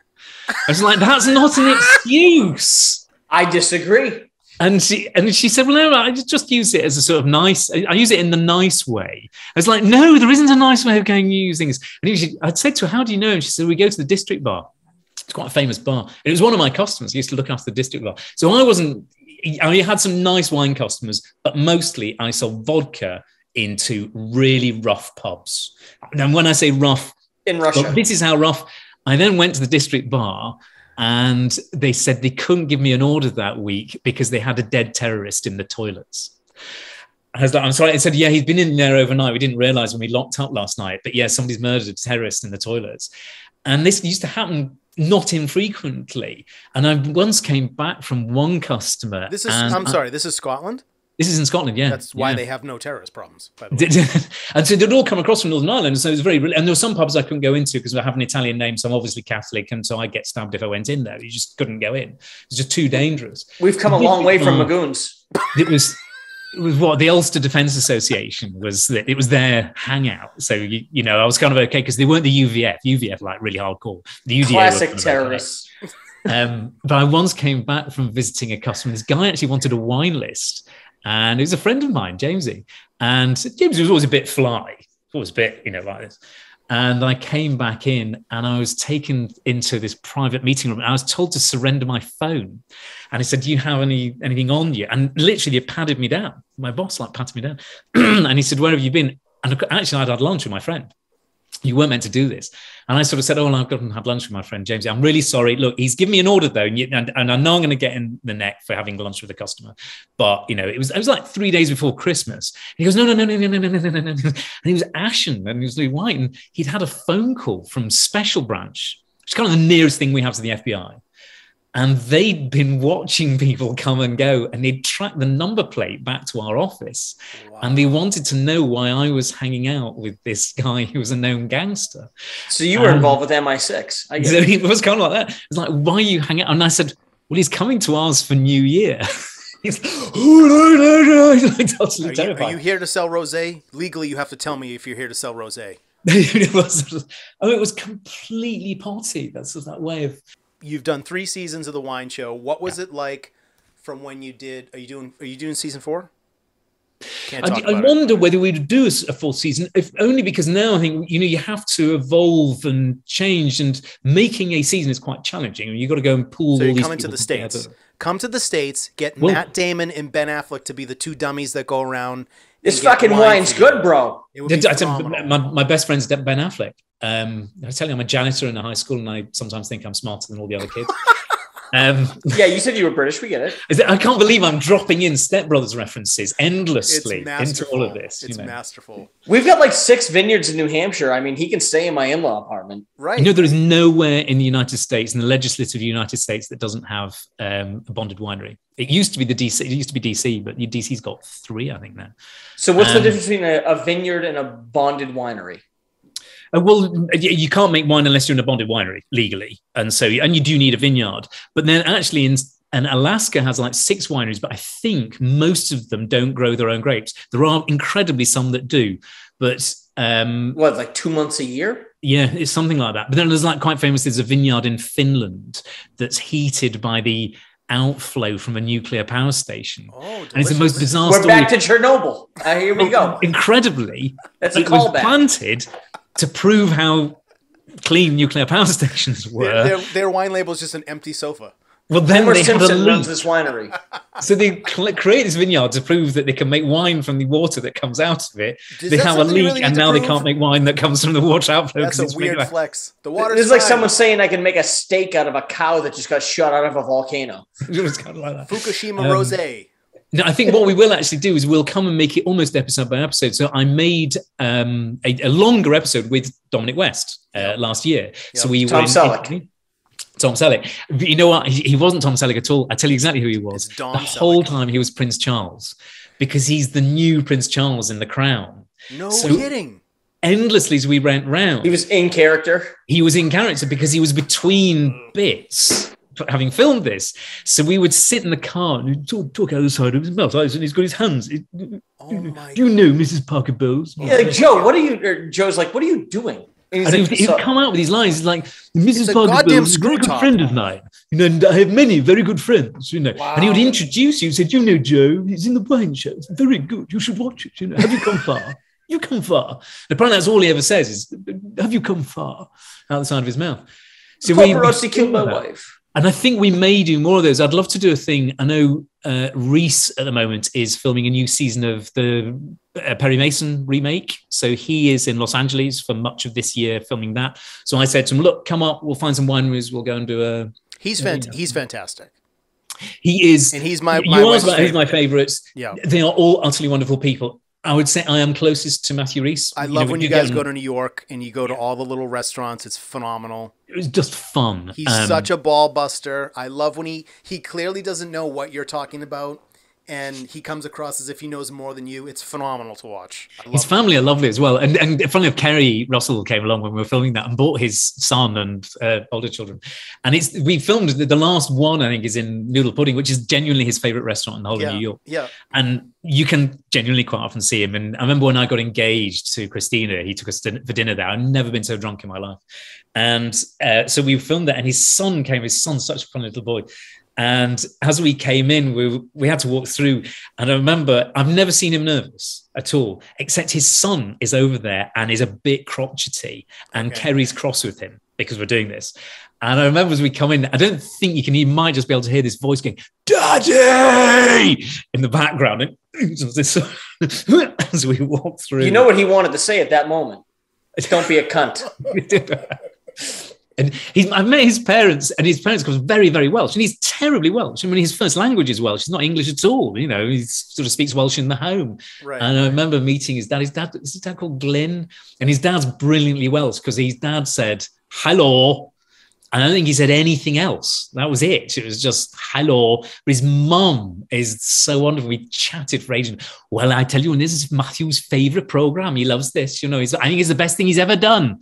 And you're going, I mean, he has kind of won Emmys and things. Oh, no, no, no. This is the best thing he's ever done. Everybody says this in Cardiff, you know. They all think this is the best program he's ever been in. This is the only one they all talk about. They don't watch the Americans over there in No, Cardiff. No, why would they? He sounds like Mickey's mother from Snatch. But they all have their different parts. I mean, James Purefoy is a gentle, beautiful soul um, with the most appalling backstory. I think famously he says that his biography is going to be called "I Shat Myself in Winnipeg and Other Stories." Um, he- he If I see the that, if I see that on the shelf, I'm buying it. you're buying it. Um, he's very, I mean, he's he's quite cerebral. You can have really in-depth chats with him. So we we talk about situationism and so on. And he, he used to work as like a hospital porter. He's very committed to the National Health Service because he used to work in it, and he works in his garden, and he just like growing his own veg and. We just, I think we need to make Joe like the wine version of the most interesting man in the world. Oh, that would. I mean, what a campaign that would be. Matthew Goode is incorrigible and funny, and How David many? Niven. How many times do they screw? Do they screw up takes? Oh, Like th- th- literally, because also, can you imagine the time when I I, yes. introduced a wine and they said, "What are we trying now?" Now, so this is made by a great friend of mine called Sybille Kuntz, Hey, cunt. and Mm. we. It was quite the end of the day. I think it took us over an hour to get that one out because they just could. And of course, when it came in, they're still falling about laughing. You know, Hey, Can we get that footage? Can we Hey, get the? Uh, It's cunt. There is quite a Can we lot. There's Matthew Goode going, Sybille, like this, like Basil Fawlty. Um, but they just, and Matthew Goode actually, of all of them, is really, he gets that point. Matthew, we have to do this. Um, he, he, he's wonderfully sort of, he's got this sort of insouciance. You know, he'll come down. He knows that he's impossibly handsome and beautiful and lovely, and he'll wander down, kind of late, hung over, wearing trousers and no shirt, so that all the girls swoon. Hat on the back of his head, Right. vape like this. Oh, vape like a gentleman. I appear to have rather let myself down. You know, wanders off in his espadrilles. Um, and then Dom, who sort of kind of joined in, I think it was also something complication with Matthew's golfing schedule. But then Dominic West said, no, he'd love to come and do it. And I remember when we first got together with Dom, th- these are Hollywood stars. These are serious, you know, they are major league Mhm. guys Yes. who've got lots of, Yeah. yeah, crank. Dom, The Wire, The Affair. Right. you know, What are you What are you doing here? what are you doing? Here? Yeah. So he arrived in Portugal when we first made it, and as you can imagine, the crew are slightly starstruck Right. in a way. Right. Um, and so Dom arrived, and he hadn't slept very much, and he kind of came in, and anyway, I was left in charge. So there's him and James Purefoy and me, and we're having breakfast in that amazing quinta that we were in um, in Portugal. Anyway, it was all slightly formal. Everyone's, are you all right, Dom? You know, can we get you anything? Coffee, breakfast, you know, mineral water, anything Over like the that, over the you know? stuff. Yeah. What do you? Yeah. Yeah. like hand job. No, it wasn't that. Sort of everybody's just checking he's okay. Anyway, they left and came back in, and I'm in the middle of an anecdote about how Dom's cousin, who I was at school with, he is married to a man who has agreed with Dom's cousin that if the opportunity to have sex with James Purefoy ever comes up, he's totally allowed to do it. And you can just see the crew go, we left you for like 10 minutes and you're already telling this outrageous story about how his cousin is allowed to, his husband to sleep with him in some sort of appalling kind of gay weird sort of having a list triangle Right. and the three of them are all kind of falling about and then dom's asking me if i'm one of the guys who was at that party where everyone drank wine naked out of one guy's false leg and i'm going yeah i was i was totally one of them and they're like no no this is not what was meant to happen Oh my god. and i think one of the sort of nice parts was that I'm gonna need more details. so I know, in a sense, Dom, you, know, you kind of know people on a different level. And I'm going, oh, do you know so and so? Yeah, yeah, I was at school with him. And so then when you, of course, The you come out, there's leg. no sense Yeah, of being weird You ever drink out of his calf? Is my friend Jonty. And he he lost his leg in a car accident. I accident. bet he wasn't jaunting too much after that. Jonty's amazing. So Jonty is, I think, the world's only para ice mile swimmer. So he's, he's big. He's Yeah, he's big. number one. Overachiever. And he was the first person in the world to swim a mile in water below freezing, missing a limb. Again. so again, Joe. I gotta had- say, I gotta say, what are you swimming from? Yeah, Where's swimming from? Daddy, I know his dad actually. Daddy? Daddy, Um, why are you driving away from me, mummy? Why are you driving away? Full circle. We brought it right back. You just left the teddy, and now it's been abused by the boy in the room next to me. You know, It's called a callback, Si. Pay attention. is. It is. Um, no, we were at a party. It was my cousin's twenty-first, and it started so well. Like a lot of English parties, you know, tuxedos, Legs, legs everything. on, legs on. Yeah, leg- leg Yeah, on. Yeah, yeah. This is like a Um, 007 movie. I get it. Tuxedos, yeah. So everything's really formal. You know, there's, well, it was Until the- organized by my Until aunt the and villain uncle. with a scar under their eye shows up. Have you To give you the- an idea, my aunt and my- my uncle's title is Rear Admiral Sir. Uh, so you know, this is properly a smart party. Wow. And I remember with Jonty at about three o'clock in the morning, two of us are completely naked, having gone skinny dipping in the swimming pool. My dinner suit is at the bottom of the drain down there. And he, out of the gloom, I hear this voice going, Who's over there? And it's my uncle, Rear Admiral Sir, and um, and my one of my other aunts walking towards us. We're totally bollock naked. And Jonty and I were both sort of in the part-time military at the time. And so as he came up, Jonty, with only one leg, and I both stand to attention. He l- lumps on me because he's only got one leg, attempts to salute like that, and then goes, Oh no, I'm naked, and covered his nipples Fantastic. which was I've got to tell you the least cover upable item that was there. So this naked, you know, sort of massive. 200 and something pound guy covering his nipples. He's only got one leg, and me standing like this, drunkenly swaying in the middle of the night. And so we decided that we would institute a new chivalrous order. It was going to be called the Order of the Leg. And so we filled the cup bit that goes sort of around his knee with sparkling wine. And then all of us all start bollock naked, passing this leg around and drinking from it. And then I think almost everybody had to throw up because if you can imagine, that's like somebody's shoe, but worse. but worse. so you drink it and then suddenly realize that the whole thing tasted of cheese. It's Oh, vomiting. And I still meet people at quite smart London clubs and say they just look at you out the corner of the eye and they go, There he is. "Order of the leg." And you There he is. Another one. You guys have like people you say, have a "What is secret that?" handshake. Joe, Joe, you need to add a little fake leg to the uh the golden. I know we need a chain of cup, opposites. right? Yeah. Yes. We need to go and put. We're having on. shirts made. So there's a lot. That, that was that was kind of that was, it was a legendary party, and it sort of went down in, in some degree of history. You'll often find British people of a, certainly of that generation, of my generation, would often have two sets of tuxedos. So, you know, two dinner jackets. So you and then obviously two sets of tails. So you got wedding morning coat tails, evening really hyper formal dinner tails Okay.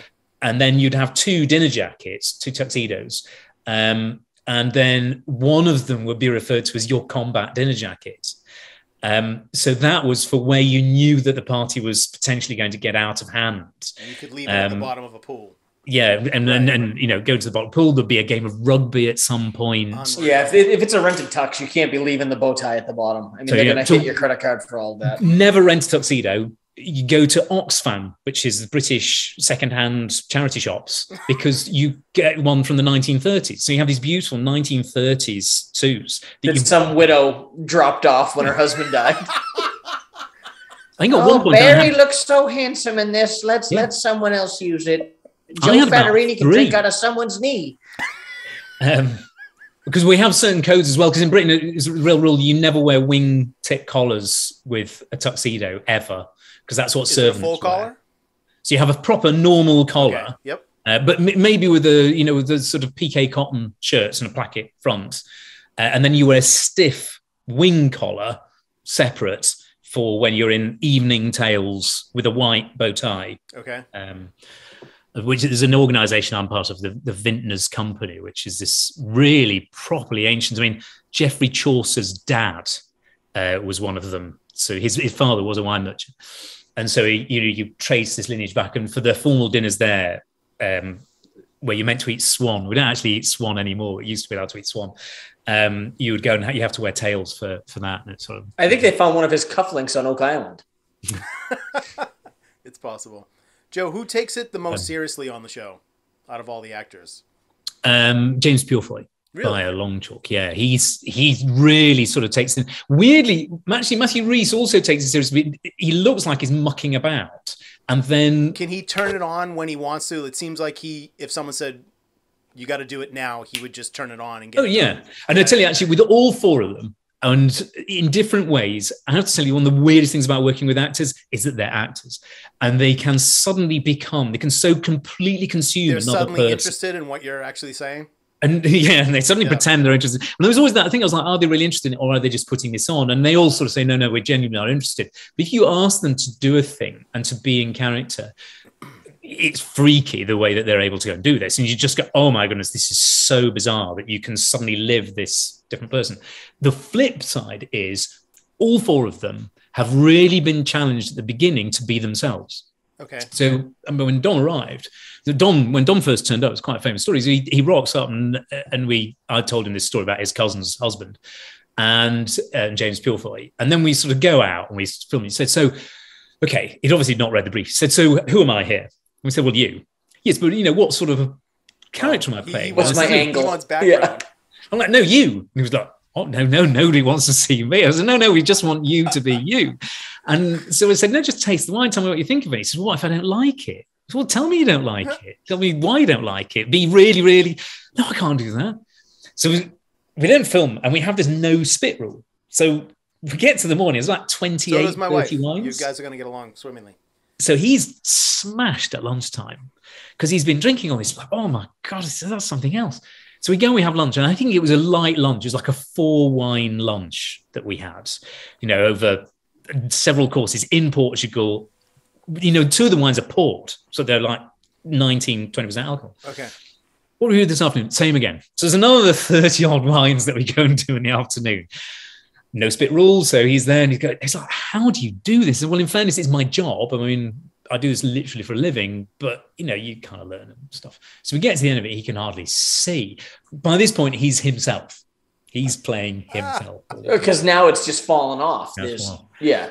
And then we had this wonderful bit where we we had this dinner. I think it was a seven wine dinner, and he thinks, "Well, Good he's night. finished. I can now get smashed. You know, I'm just got to get and drink."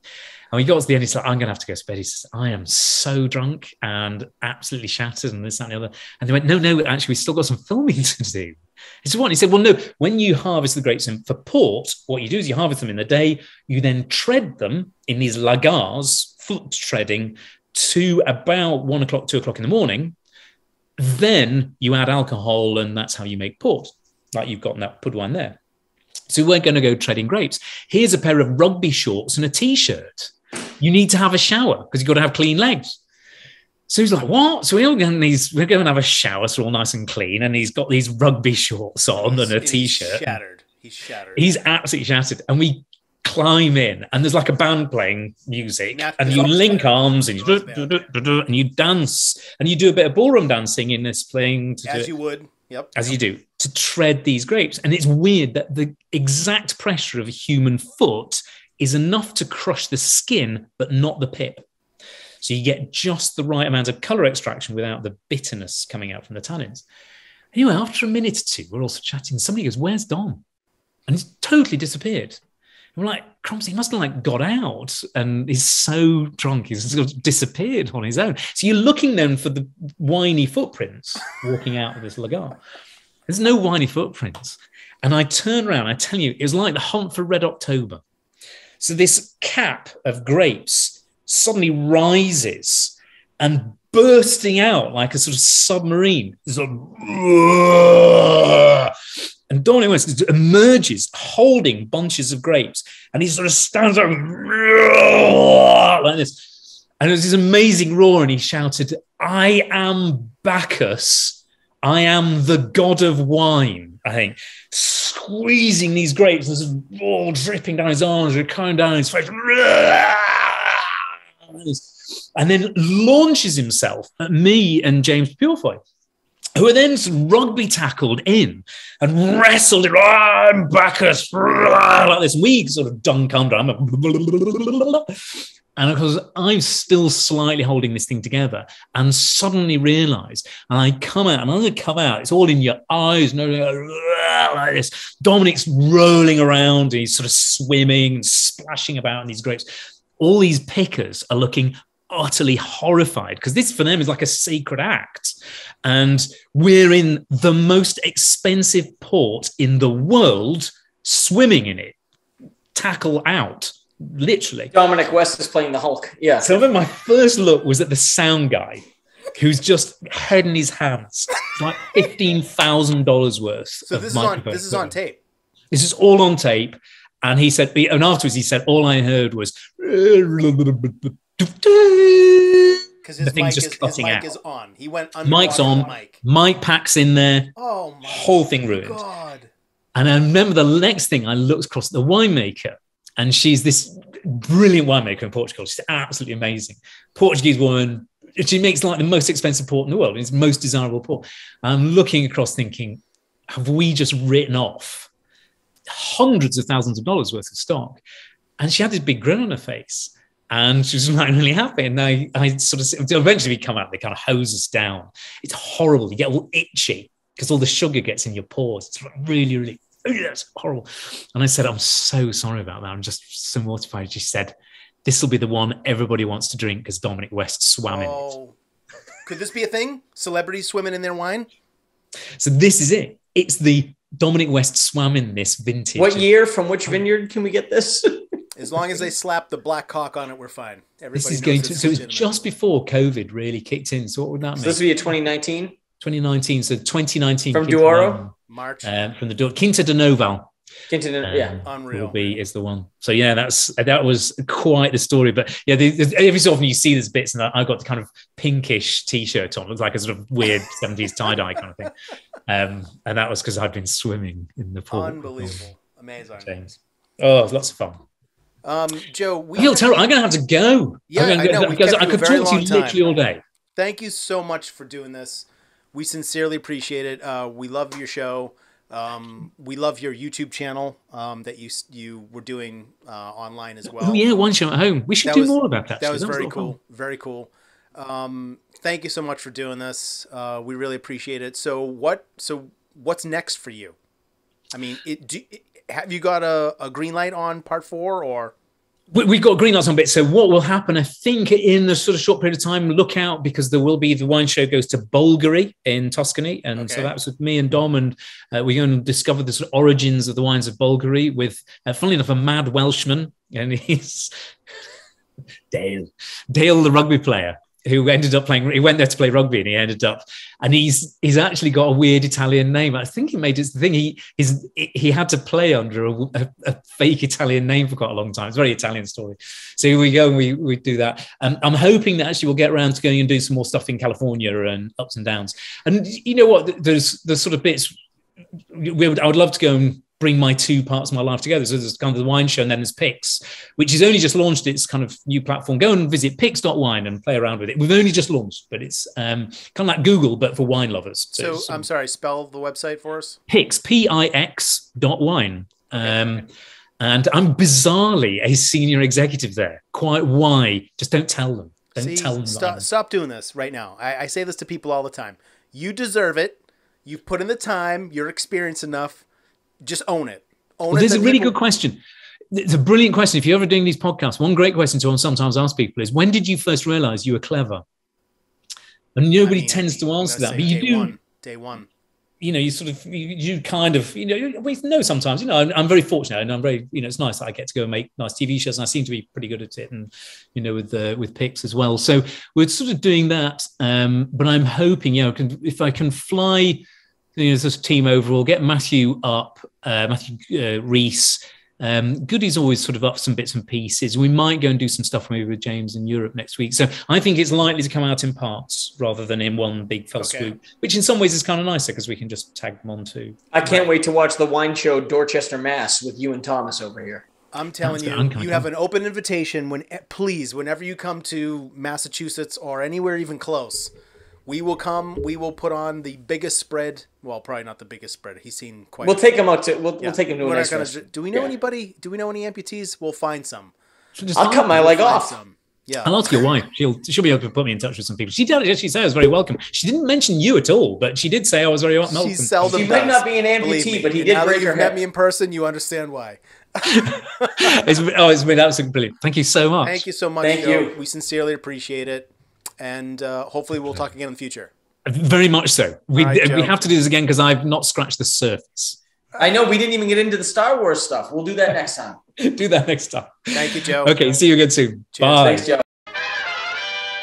Two hours.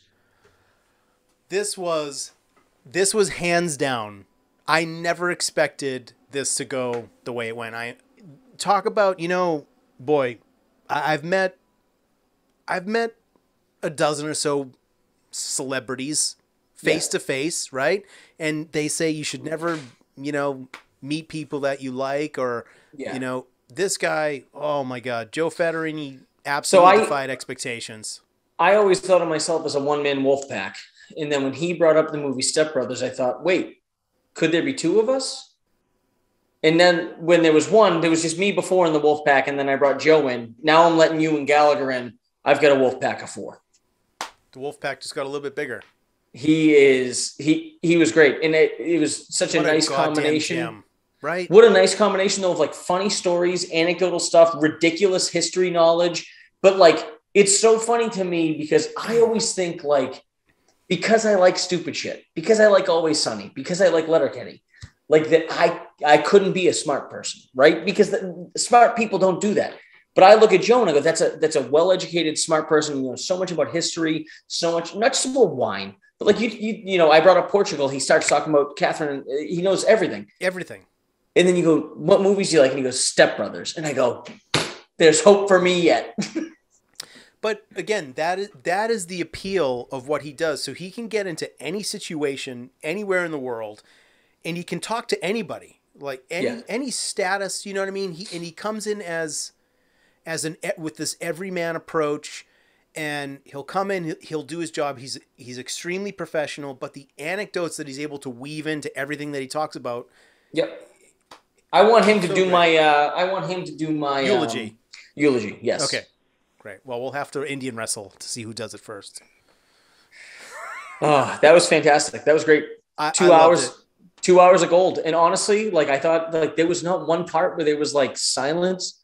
There wasn't No. a single part where there was awkward. Like everything that you or I like, there was a couple times that I kind of went for it with a joke. Every fucking time he loved it. Oh, he go- he got it. He was so. There was a couple times where I was like, I don't know if I want to go there or not because he's such a nice guy. So I and will then I went this. there. I will say this: this is the the most cunt-filled episode that we've had, and I'm so pleased and proud of it. I can't wait to clip the part where I ask him if he can normalize cunt in America. I mean, I'm not joking. That was a genuine request. hey, I mean, you're preaching to the choir. That is part of the, the most common vernacular. I do believe that he had a great time. Yeah. And I do believe that if we say let's do this again in three weeks, he would do it. Well, that's the thing now. So we'll, we'll of course, we'll chart, you know, what's going on with the wine show, and if, if they come closer. to This the- episode's going to be a little weird for people. Why? What do you mean? A little different subject matter. That's all. Fuck them. They either. Oh, I don't care. It's a, grow with us. Listen, we encourage everyone to grow with us. There's a chance. There's a chance that after 43 episodes, that 42 and 43 were our two best. I There's a chance. Hey, we beat uh, podcast. We got to 42 and 43. It took him to 46 before he hit his stride. Am I right? The only two parts of this show that we have to edit is the intro and the outro, and that's it. You don't even have to put clips in. I don't. Ha- I don't. I mean, maybe the Red Dragon or a Catalina wine mixer. The some- Catalina something. no, there was it, Do it you was not something fucking else. love that this guy is like, like one of the premier sommeliers in the fucking world, and he goes around wearing the fucking Catalina wine mixer shirt? I love that he's so aware of that. I, I love that you and I both dressed up and he didn't. he doesn't. He doesn't even know that it's an ode to Joe. This has been fantastic. I, I thought this was one of our best episodes. What a great guest to have. Um, I mean, we definitely got to get him back on. I I sincerely appreciate uh, Joe Fattorini coming on and talking about how much he loves uh, Matthew Rhys. Who doesn't? It was a great time. He was a fantastic guest. He was definitely, I mean, I can't think of a more intelligent guest we've had. I mean, just a smart, No. like knew knew so many references, and I'm not talking like pop culture stuff. I'm talking like actual like world experience. He's just such a smart guy. So easygoing though, like fantastic. I uh, I I I hope somehow someday he says, "Hey, I'm in the Boston area next week, and we can take him out to dinner." That would be could fantastic. possibly bring him to Boston? I have no idea what could possibly bring him here. Right? Tea. Delicious. They're gonna dredge it out of the harbor. Let's it's not- like a vintage wine. Let's not bring it up. It's it's it's too close to home. Too soon. Um, but seriously, uh, thank you so much for listening to episode 43 of the Two Critical Podcast. Special guest Joe Fattorini, uh, presenter from the television show The Wine Show. If you haven't watched it, you got to start. It is a absolute great time. Uh, and um, great job, Rob. Really good work. Solid work. And uh, we will see you again until we meet again. Bye, cunts. Bye, cunts. We sincerely hope you enjoyed the program. Please check us out where all podcasts are sold and check out our YouTube channel as well. Thank you for listening and thank you for your support. If you don't like the show, go fuck yourself.